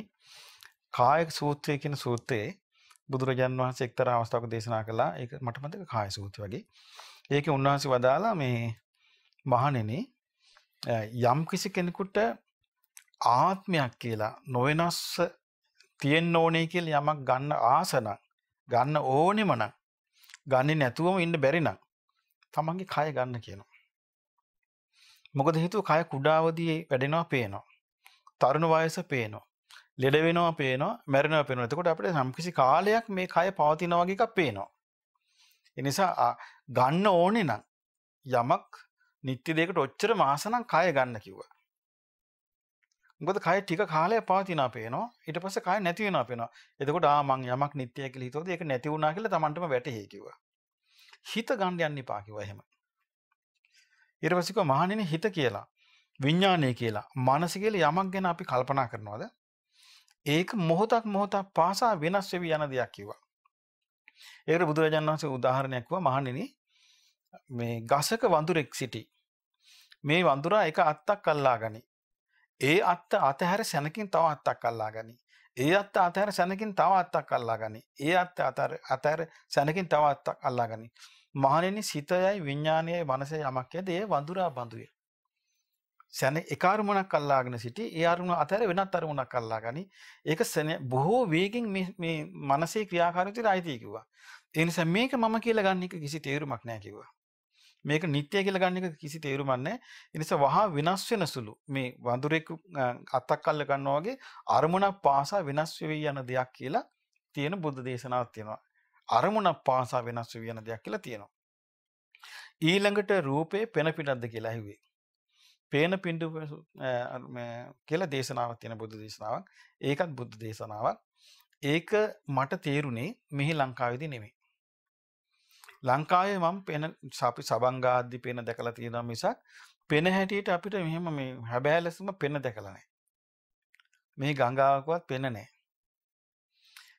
මම ওই බුද්ධ ගයාවේ ඉන්න ඉන්න කාලේ බුද්ධ ගයා නීරංජනා ගඟේ සමහර කාලෙදි වැසි වහිනවා. වැසි වැහැලා දැන් අපි ওই පාලම උඩින් යනකොට පේනවා මේ අඩි 3 4 ලොකු තට්ටු පෙන තට්ටු. වෙරළි ගහලා තියෙනවා පෙන තට්ටු දිගට. ඒක අඩි 100 200 දෙකට තියෙනවා පෙන තට්ටු. වෙරළට කොහොම මේ පෙන අර ගෙම්බි පෙන තියෙන්නේ ගෙම්බි පෙන වගේ පෙනි මේ පෙන අඩි 3 4 උසට. පෙන තට්ටු. දැන් ඉතින් ඒක දැන් පහෝදා යනකට ඊට වඩා කලින් ඊයේ තිබුණට වඩා අඩුයි. පෙන අඩු වෙලා අඩු වෙලා අඩු වෙලා. ඊට පහෝදා යනකට නෑ. එතකොට මම කල්පනා කළා මේ දවස් ගණන් තියෙනවනේ මේ පෙන ගොඩවල්. එතකොට මං එතකොට මං හිතුවා ආන්න මේ පෙන තට්ටු දැකපු එක්කෙනෙකුට පේන පින්ඩු උපමං රූපං මේ රූපයේ පෙන පින්ඩුකට උපමා කොට ඇත්තේ කියන එකට අන්න වැටහෙනවා. දැන් අපි මෙහි පෙන පිටක් කියලා කිව්වා අපි මෙහි පෙන නැහැනේ. මේ පොටස් ගාලා නැති වෙනවනේ මේ පෙන පින්ඩ. සබංගාල ඉවරෙච්ච එකම රිදි හොදලා ඉවරෙච්ච එකම ඔන්න පෙන ටිකක් තියෙනවා. ඊට පස්සේ ඔන්න ඒ පෙන ටික නැහැ. අර ගං ඉවරේ එහෙම නෙමෙයි. දිගට තියෙනවා මේ දවස් දෙකේ පෙන. සමහර සතිය හැමාරේ තියෙනවා පෙන කොටවල්. ඉතින් ඒ පෙන දැක්ක ගමන් මං හිතුවා මේ තමයි දැන් බලන්න බුදුරජාන් වහන්සේ දඹදිව පහළ වුණා කියනත් හොඳ උදාහරණ තමයි. දැන් මේ රටේ පහළ වෙච්ච කෙනෙක් නෙමෙයි උන්වහන්සේ. උන්වහන්සේ මොකද ඒ උපමාව ඒ පරිසරෙන් උන්වහන්සේ ගන්නේ. පෙනපිඩු දැක්ක ගමන් හිතුවා මේ පෙනපිඩු මේකට තමයි රූපේ පෙනපිඩක් වගේ කිව්වේ. හරියට හරි ඒක ඇයි තියෙනවා. ටික ටික ටික එක පෙන අඩු වෙවි අඩු වෙනවා. මේ දවස් දෙක තුන තියෙනවා. ඒ පෙන. තිබිලා හිමින් හිමින් මහ විශාල පෙන යායවත්. ඉතින් ඒව දැක්කට පස්සේ මං හිතුවා ආ මේ කියන්නේ පෙනපිඩ. නැත්තම් අපි පෙනපිඩ කියනකොට දැන් අපි අපේ රටේ අපේ සංස්කෘතියට අදාළව මේ පෙනපිඩ දකින්න නැහැ. මේ ගංගාවල දකින්න නැහැ. මේවනේ ඇලවල් වගේ ඉන්නේ. ඒකයි. එතකොට ඒ ගංගාවල් එහෙම මේ වෙරළ තියෙනවා. එතකොට මේ වෙරළත් එක්ක මේ ලොකු පෙන පෙන ගිහින් ගිහින් පෙන වදිනවා වෙරළි ගිහින් ගිහින් මේ ගංගාවල එන පෙන වර්ග. ඉතින් මේ පෙන ගොඩාක් තියෙනවා. ඉතින් එතකොට අපිට තේරෙනවා පෙන පිටකට සමානයි. ඒක බුද්ධ වචනක්. ඉතින් මේ පින්වතායක හිත පහද ගන්න ඕනේ. ඒක බුද්ධ වචනයක්. මේකෙන් දැන් මේ කේස් ගත්තත් ලොම් ගත්තත් මේ රූපස්කන්ධය ගත්තත් දැන් බලන දැන් මහත හිතලා දැන් අපි කොච්චර පෙන පිටක් වගේද කියන්නේ දැන් අපි සමහරට අපි ආච්චිගේ නම දන්නවා සීයාගේ නම දන්නවා. උතනින් හැට අපි දන්නේ නැනේ සීයාගේ තාත්තා කවුද? ඒ තාත්තගේ තාත්තා කවුද? ආච්චිගේ අම්මා කවුද? ඒ අම්මගේ අම්මා කවුද? මුකුත් දන්නේ අපි. ඒ කියන්නේ නිකන් අපි නිකන් පැරිසුට් වලින් බහැලා වගේ. දැන් සමහර ළමයින්ගෙන් ඔහොම සීයාගේ නම දන්නෙත් නැහැ. ආච්චිගේ නම දන්නෙත් නැහැ. තව ටිකක් කල තව ටිකක් කල් යනකොට දෙමාපියන්ගේ නම් දැන දැනගන්න එකකුත් නැහැ. එච්චරටම මේ දන්නේ නැහැ විස්තරයක්. අපි නිකන් ඉන්නවා ඉඳලා මේ මැරලා යනවා. ඉතින් පෙන පිඬක් වගේ තියෙන ශරීරය ඇත්තම මේ පවත්වන්නේ අපි. ඒ පෙන පිඬක් වගේ දැන් හොඳටම මේක පෙන පිඬක් වගේ තේරෙන්නේ මරණාසන්නයේ ශරීරය බලන්න ඕනේ. මට මතක ඒක නායහාර කෙනෙක් අපවත් අපවත් වෙන කිට්ටුව උන්වහන්සේ හොඳට හිටපු කෙනෙක්. උන්වහන්සේගේ ශරීරය නිකන් අර ජොල් වෙලා. මෙම අල්ලනකට මේ මේ අල්ලනකට පොඩි වෙයිද කියලා හිතෙනවා. අල්ලලා අතින් අල්ලලා උස්සන්න බයයි. මේ හොඳට හිටපු ශරීර. ඒ කියන්නේ හරියටම හොඳ පැහැදිලි මේ පෙන පිඬු වගේ මේ ශරීරේ නැති වෙලා යනවා. එහෙම ස්වභාවයෙන් යුක්තයි මේ රූපස්කන්ධය කියන එක. එහි යථාර්ථය. දැන් ওই චිත්තක්ෂණයක් කියනකොටත් ලොකු සයනස කොහොමද ඒක පැහැදිලි කරගන්නේ ඒකෙත් එක එක විදියට නෑ මම කිව්වේ ඒක චිත්තක්ෂණය අපිට ගන්න බෑ. අපිට මං හිතන්නේ චිත්තක්ෂණයේ ප්‍රකෘති. හිතකින් දකින්න නම් එයා දෙවි කෙනෙක් වෙන්න ඕනේ. ඒකනේ බුදුරජාණන් වහන්සේ අභිධර්මයේ දෙවියන්ට දේශනා කළේ. මොකද අපි කිව්වට චිත්තක්ෂණයක් කියන්නේ මෙහෙම මිනිත්තුවකට මෙච්චර ගාණක් මේ විදියට වේගයක් කියන අපිට එක අපිට ගිනුම් ක්‍රමයකට කියන්න පුළුවන්. ගණිතමය රටාවකට කියන්න පුළුවන්. ඒක ප්‍රායෝගිකව දකින්න බෑනේ. ප්‍රායෝගිකව දකින්න පුළුවන් ඊටාම සියුම් විදිහට චිත්ත ස්වභාවය තේරෙන එක්කෙනාට. දෙවියන්ට බ්‍රහ්මයන්ට අන්න හරි. සාමාන්‍ය මනුස්සයාට අල්ලන්න අමාරුයි. අපිට ඔය චිත්ත වීති අල්ල ගන්න පුළුවන්ද ලොකු සයනස චිත්ත වීතිත් බෑනේ. සාමාන්‍ය මනුස්සය මොකද චිත්ත වීතිය සැනකින් නැති වෙනවනේ. ඔය අපි කිව්වට සදාරම්භන ඒ ඔව්. විදියට කිව්වට ලොකු සයනස කියන්නේ ඒක අපිට ඒක බෑ කියලා අල්ලන්න අමාරුයි. අල්ලා ගන්න අමාරුයි කියන එක අල්ලගත්තොත් අපිට අල්ලගන්න තියෙන්නේ ගණන් ක්‍රමයට ගණන් කරලා තමයි. ඊට පස්සේ අපි ඒක එක එක ආකාර බෙදන්න ඕනේ. ඉතින් සාමාන්‍යයෙන් දැන් බුද්ධ දේශනාව දැන් මම කිව්ව එක මිලින්ද ප්‍රශ්නේ අහනවානේ මිලිඳු රජුරු අහනවා ම්, ස්වාමීනි කොහොමද මේ වේදනා සංඥා සංස්කාර විඥාන නාම රූප මේ ඊළඟට විඥාන නාම රූප මේ කොහොමද බෙදුවේ කියලා අහන මේ එකට තියෙන දේවල් නේ කියනවා. එතකොට බුදුරජාණන් කවුද මේ නාගසේන මහරහතන් වහන්සේ මිලිඳු රජුරුවන් අහනවානේ අහනවා රජතුමනි සාගරයේ මැද්දෙන් ඔබට දිය දෝතක් දෙනවා. ඔද දිය දෝතක් දෙනවා ගංගා යමුනා අචිරවතී සරබු මහී කියන පංචමහා ගංගාවන්ගේ ජලය ඔතන තියෙනවා. ඕක වෙන් කළ දෙන්න කියලා. ඕක පුළුවන්ද කියලා අහනවා. අනේ ස්වාමීනි මට නම් බෑ කියනවා. නෑ කියනවා මේ රජතුමනි මේ වගේ දේකුත් අපිට බෑ කියනවා. නමුත් මේ ජලයේ ඔක්කොම තියෙනවා කියනවා. නමුත් ඒවත් අපිට සංඝටක වශයෙන් බෙදාවින් කරගන්න අපිට බෑ කියනවා. නමුත් මේ එකට තියෙන ස්පර්ශය ප්‍රත්‍යයෙන් හටගන්න විදීම හටගන්නකොට නාම රූප විඥාන ස්පර්ශ වේදනා සංඥා චේතන ඔක්කොම ක්‍රියාත්මක වෙනවා. වෙන් වෙන් වශයෙන් මේක වේදනාවයි, මේක සංඥාවයි, මේක චේතනාවයි, මේක විඥානයයි, මේක නාමයයි, මේක රූපයයි කියලා බුදුරජාණන් වහන්සේ මෙහෙම විග්‍රහ කර කර බෙදන්න මොනතරම් සියුම් ප්‍රඥාවකින් උන්වහන්සේ මේක කළා තියෙනවද කියලා අහනවා. එහෙමනේ කළා තියෙන්නේ. දැන් ඔය චිත්ත වීති ගැන තියෙන දෙවියන්ටනේ. දෙවියන්ට දේශනා කළේ. එතකොට දෙවියන්ට දේශනා කරාම සමහර දෙවියන්ගේ ස්වභාවය අපේ ස්වභාවයට වෙනස් වෙන්න පුළුවන්. මොකද සමහර දෙවිවරු ඉඳලා තියෙනවා. දැන් එක එක සංගතනික එක තැනක හම්බ වෙනවා. දෙවි කෙනෙක් බුදුරජාන් වහන්සේ ළඟට පැමිණිලා උන්වහන්සේ ඉස්සරහ හිට ගන්න යනවා. හිට ගන්න බෑ. ඒ කියන්නේ තෙල් හරි වතුර හරි වැලි ගොඩකට තිබ්බහම වැලි ගොඩකට වැක්කිරුවාම ඒ වැලි ගොඩ ඇතුළට උරා ගන්නවානේ. මේ වගේ මේ දිව්‍යයන්ගේ ශරීරය එයා හිට ගන්න හදනකොට පොළොවට උරා ගන්න හදනවා. එතකොට බුදුරජාන් වහන්සේ ඒ දෙවියට කියනවා දෙවිය ඉක්මනට ගොරෝසු ශරීරයෙන් මවා ගන්න නැත්නම් ඔය ගිලෙයි කියනවා. එතකොට අපිට පේනවා මේ චිවුන් ශරීරය තියෙන්න පුළුවන් අපිට ඇහැට නොපෙනෙන නිකන් පොළවේ හිටගත්තොත් පොළවේ උරා ගන්න. ඒත් රූපස්කන්ධයක්. ඒත් රූපයක්. අවසාන වශයෙන් ලොකු සයනස දැන් හුඟක් තැන්වල මම මේ ආයිතර ධාතු මනසිකාරය අවසාන වශයෙන් පොඩි ප්‍රශ්නයක් මගේ ඔළුවට ආවා දැන් කියනවා ඒක පඨවි ආපෝ තේජෝ වායු කියන එක හැමතිස්සෙම පිහිටවන්නේත් එකටමයි කියලා ලොකු සයනස කියන එකක් ඔව්. පෙරදැඩි කරගෙන තමයි මම අහන්නේ මේක අර. රූපේ තියෙනවා සංඥාව තියෙනවා මේ විදිහට තියෙනවා දැන් මෙතනදී ඒ කොටස් කිරීම අපි බලනකොට තමයි ආයිත් ඒක ටිකක් සියුම්මට හිතන්න තියෙනවා එතනත් මොකද පඨවි වෙනමම තියෙන්නේ නැහැ නේද ලොකු නෑ, සයනස? ඔය නෑ, හතර. අපි තේරුම් ගන්න තියෙන්නේ මහත්තයා යමක යම් ධාතු ස්වභාවයක් වැඩිද ඒ වැඩි ධාතු ස්වභාවයෙන් ඒක හඳුන්වන එක. හැබැයි ඒ බාධාත් ස්වභාවය ඇතුළත අනිත් අනිත් තියෙනවා. හැබැයි. ඒවට ඒවට හිත යොමු කරන්න එපා නෑ ඒ වැඩි එක තමයි යොමු කරන්න. ප්‍රමුඛතාවය ඔව් ප්‍රමුඛතාවය දෙන්න ඕනේ ඒකට. මොකද ඒකට ප්‍රමුඛ ප්‍රමුඛතාවය දීලා අපි ඒක විමසන්න බලන්නේත් මේකේ අර මේ සමුදේ වය තේරුම් ගැනීමටයි. ඒ කියන්නේ මේ හේතුන් නිසා හට ගන්නවා. හේතු නැති වෙනකොට නැති වෙන එක තමයි සමුදේ වය කියන්නේ. මේ ස්වභාවය තේරුම් මොකද කාලය තිස්සේ අපි මේක මමය මාගේ මාගේ ආත්මය මගේ දේවල් මගේ අසවලා මගේ මෙයා මගේ ඥාතියා මගේ අසවල් කෙනා කීක අපි කල්පනා කරන්න පුරුදු වෙලා පුරුදු වෙලා පුරුදු වෙලා ඒක ඉතින් අටුවම් බහැලා තියෙන්නේ. ඒකේ සක්කාදිට්ඨිය දැන් කල්පනාන වශයෙන් ඇවිල්ලා තියෙන්නේ මේ සක්කාය දිට්ඨිය ක්‍රීම් එකනේ තියෙන්නේ. කාලය තිස්සේ.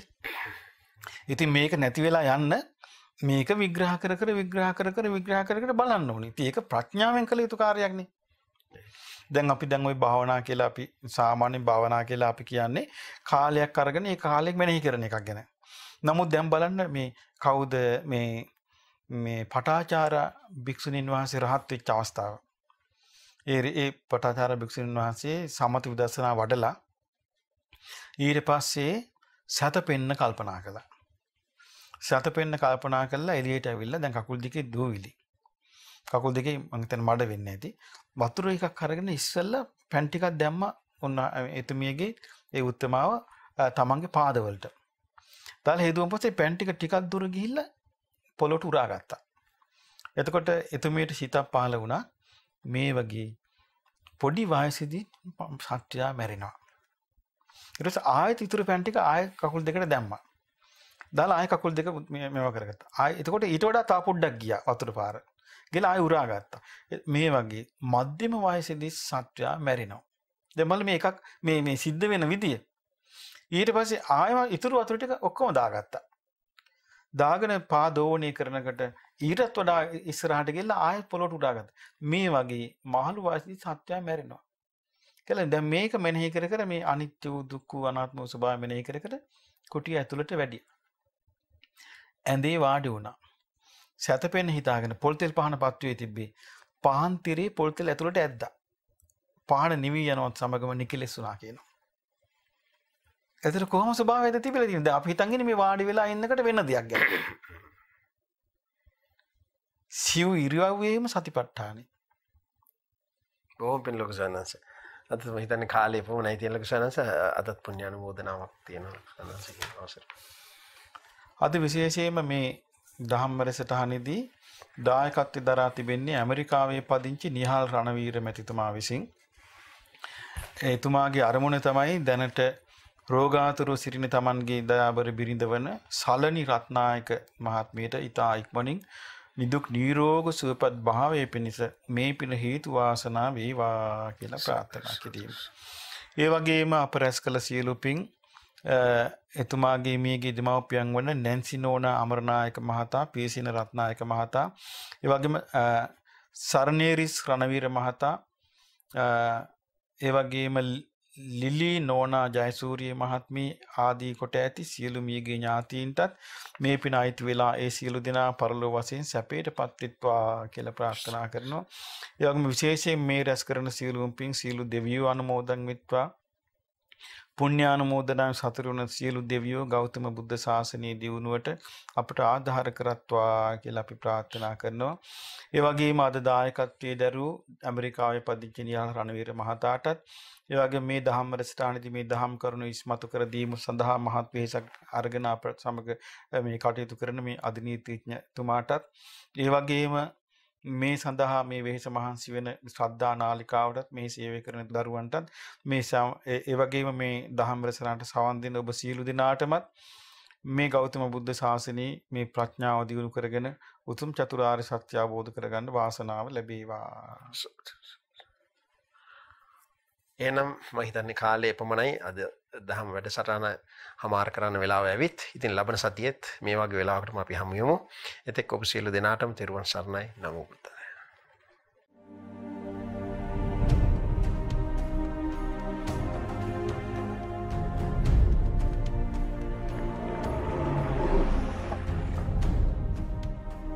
නමෝ බුද්ධාය සතහම් කතිකාව.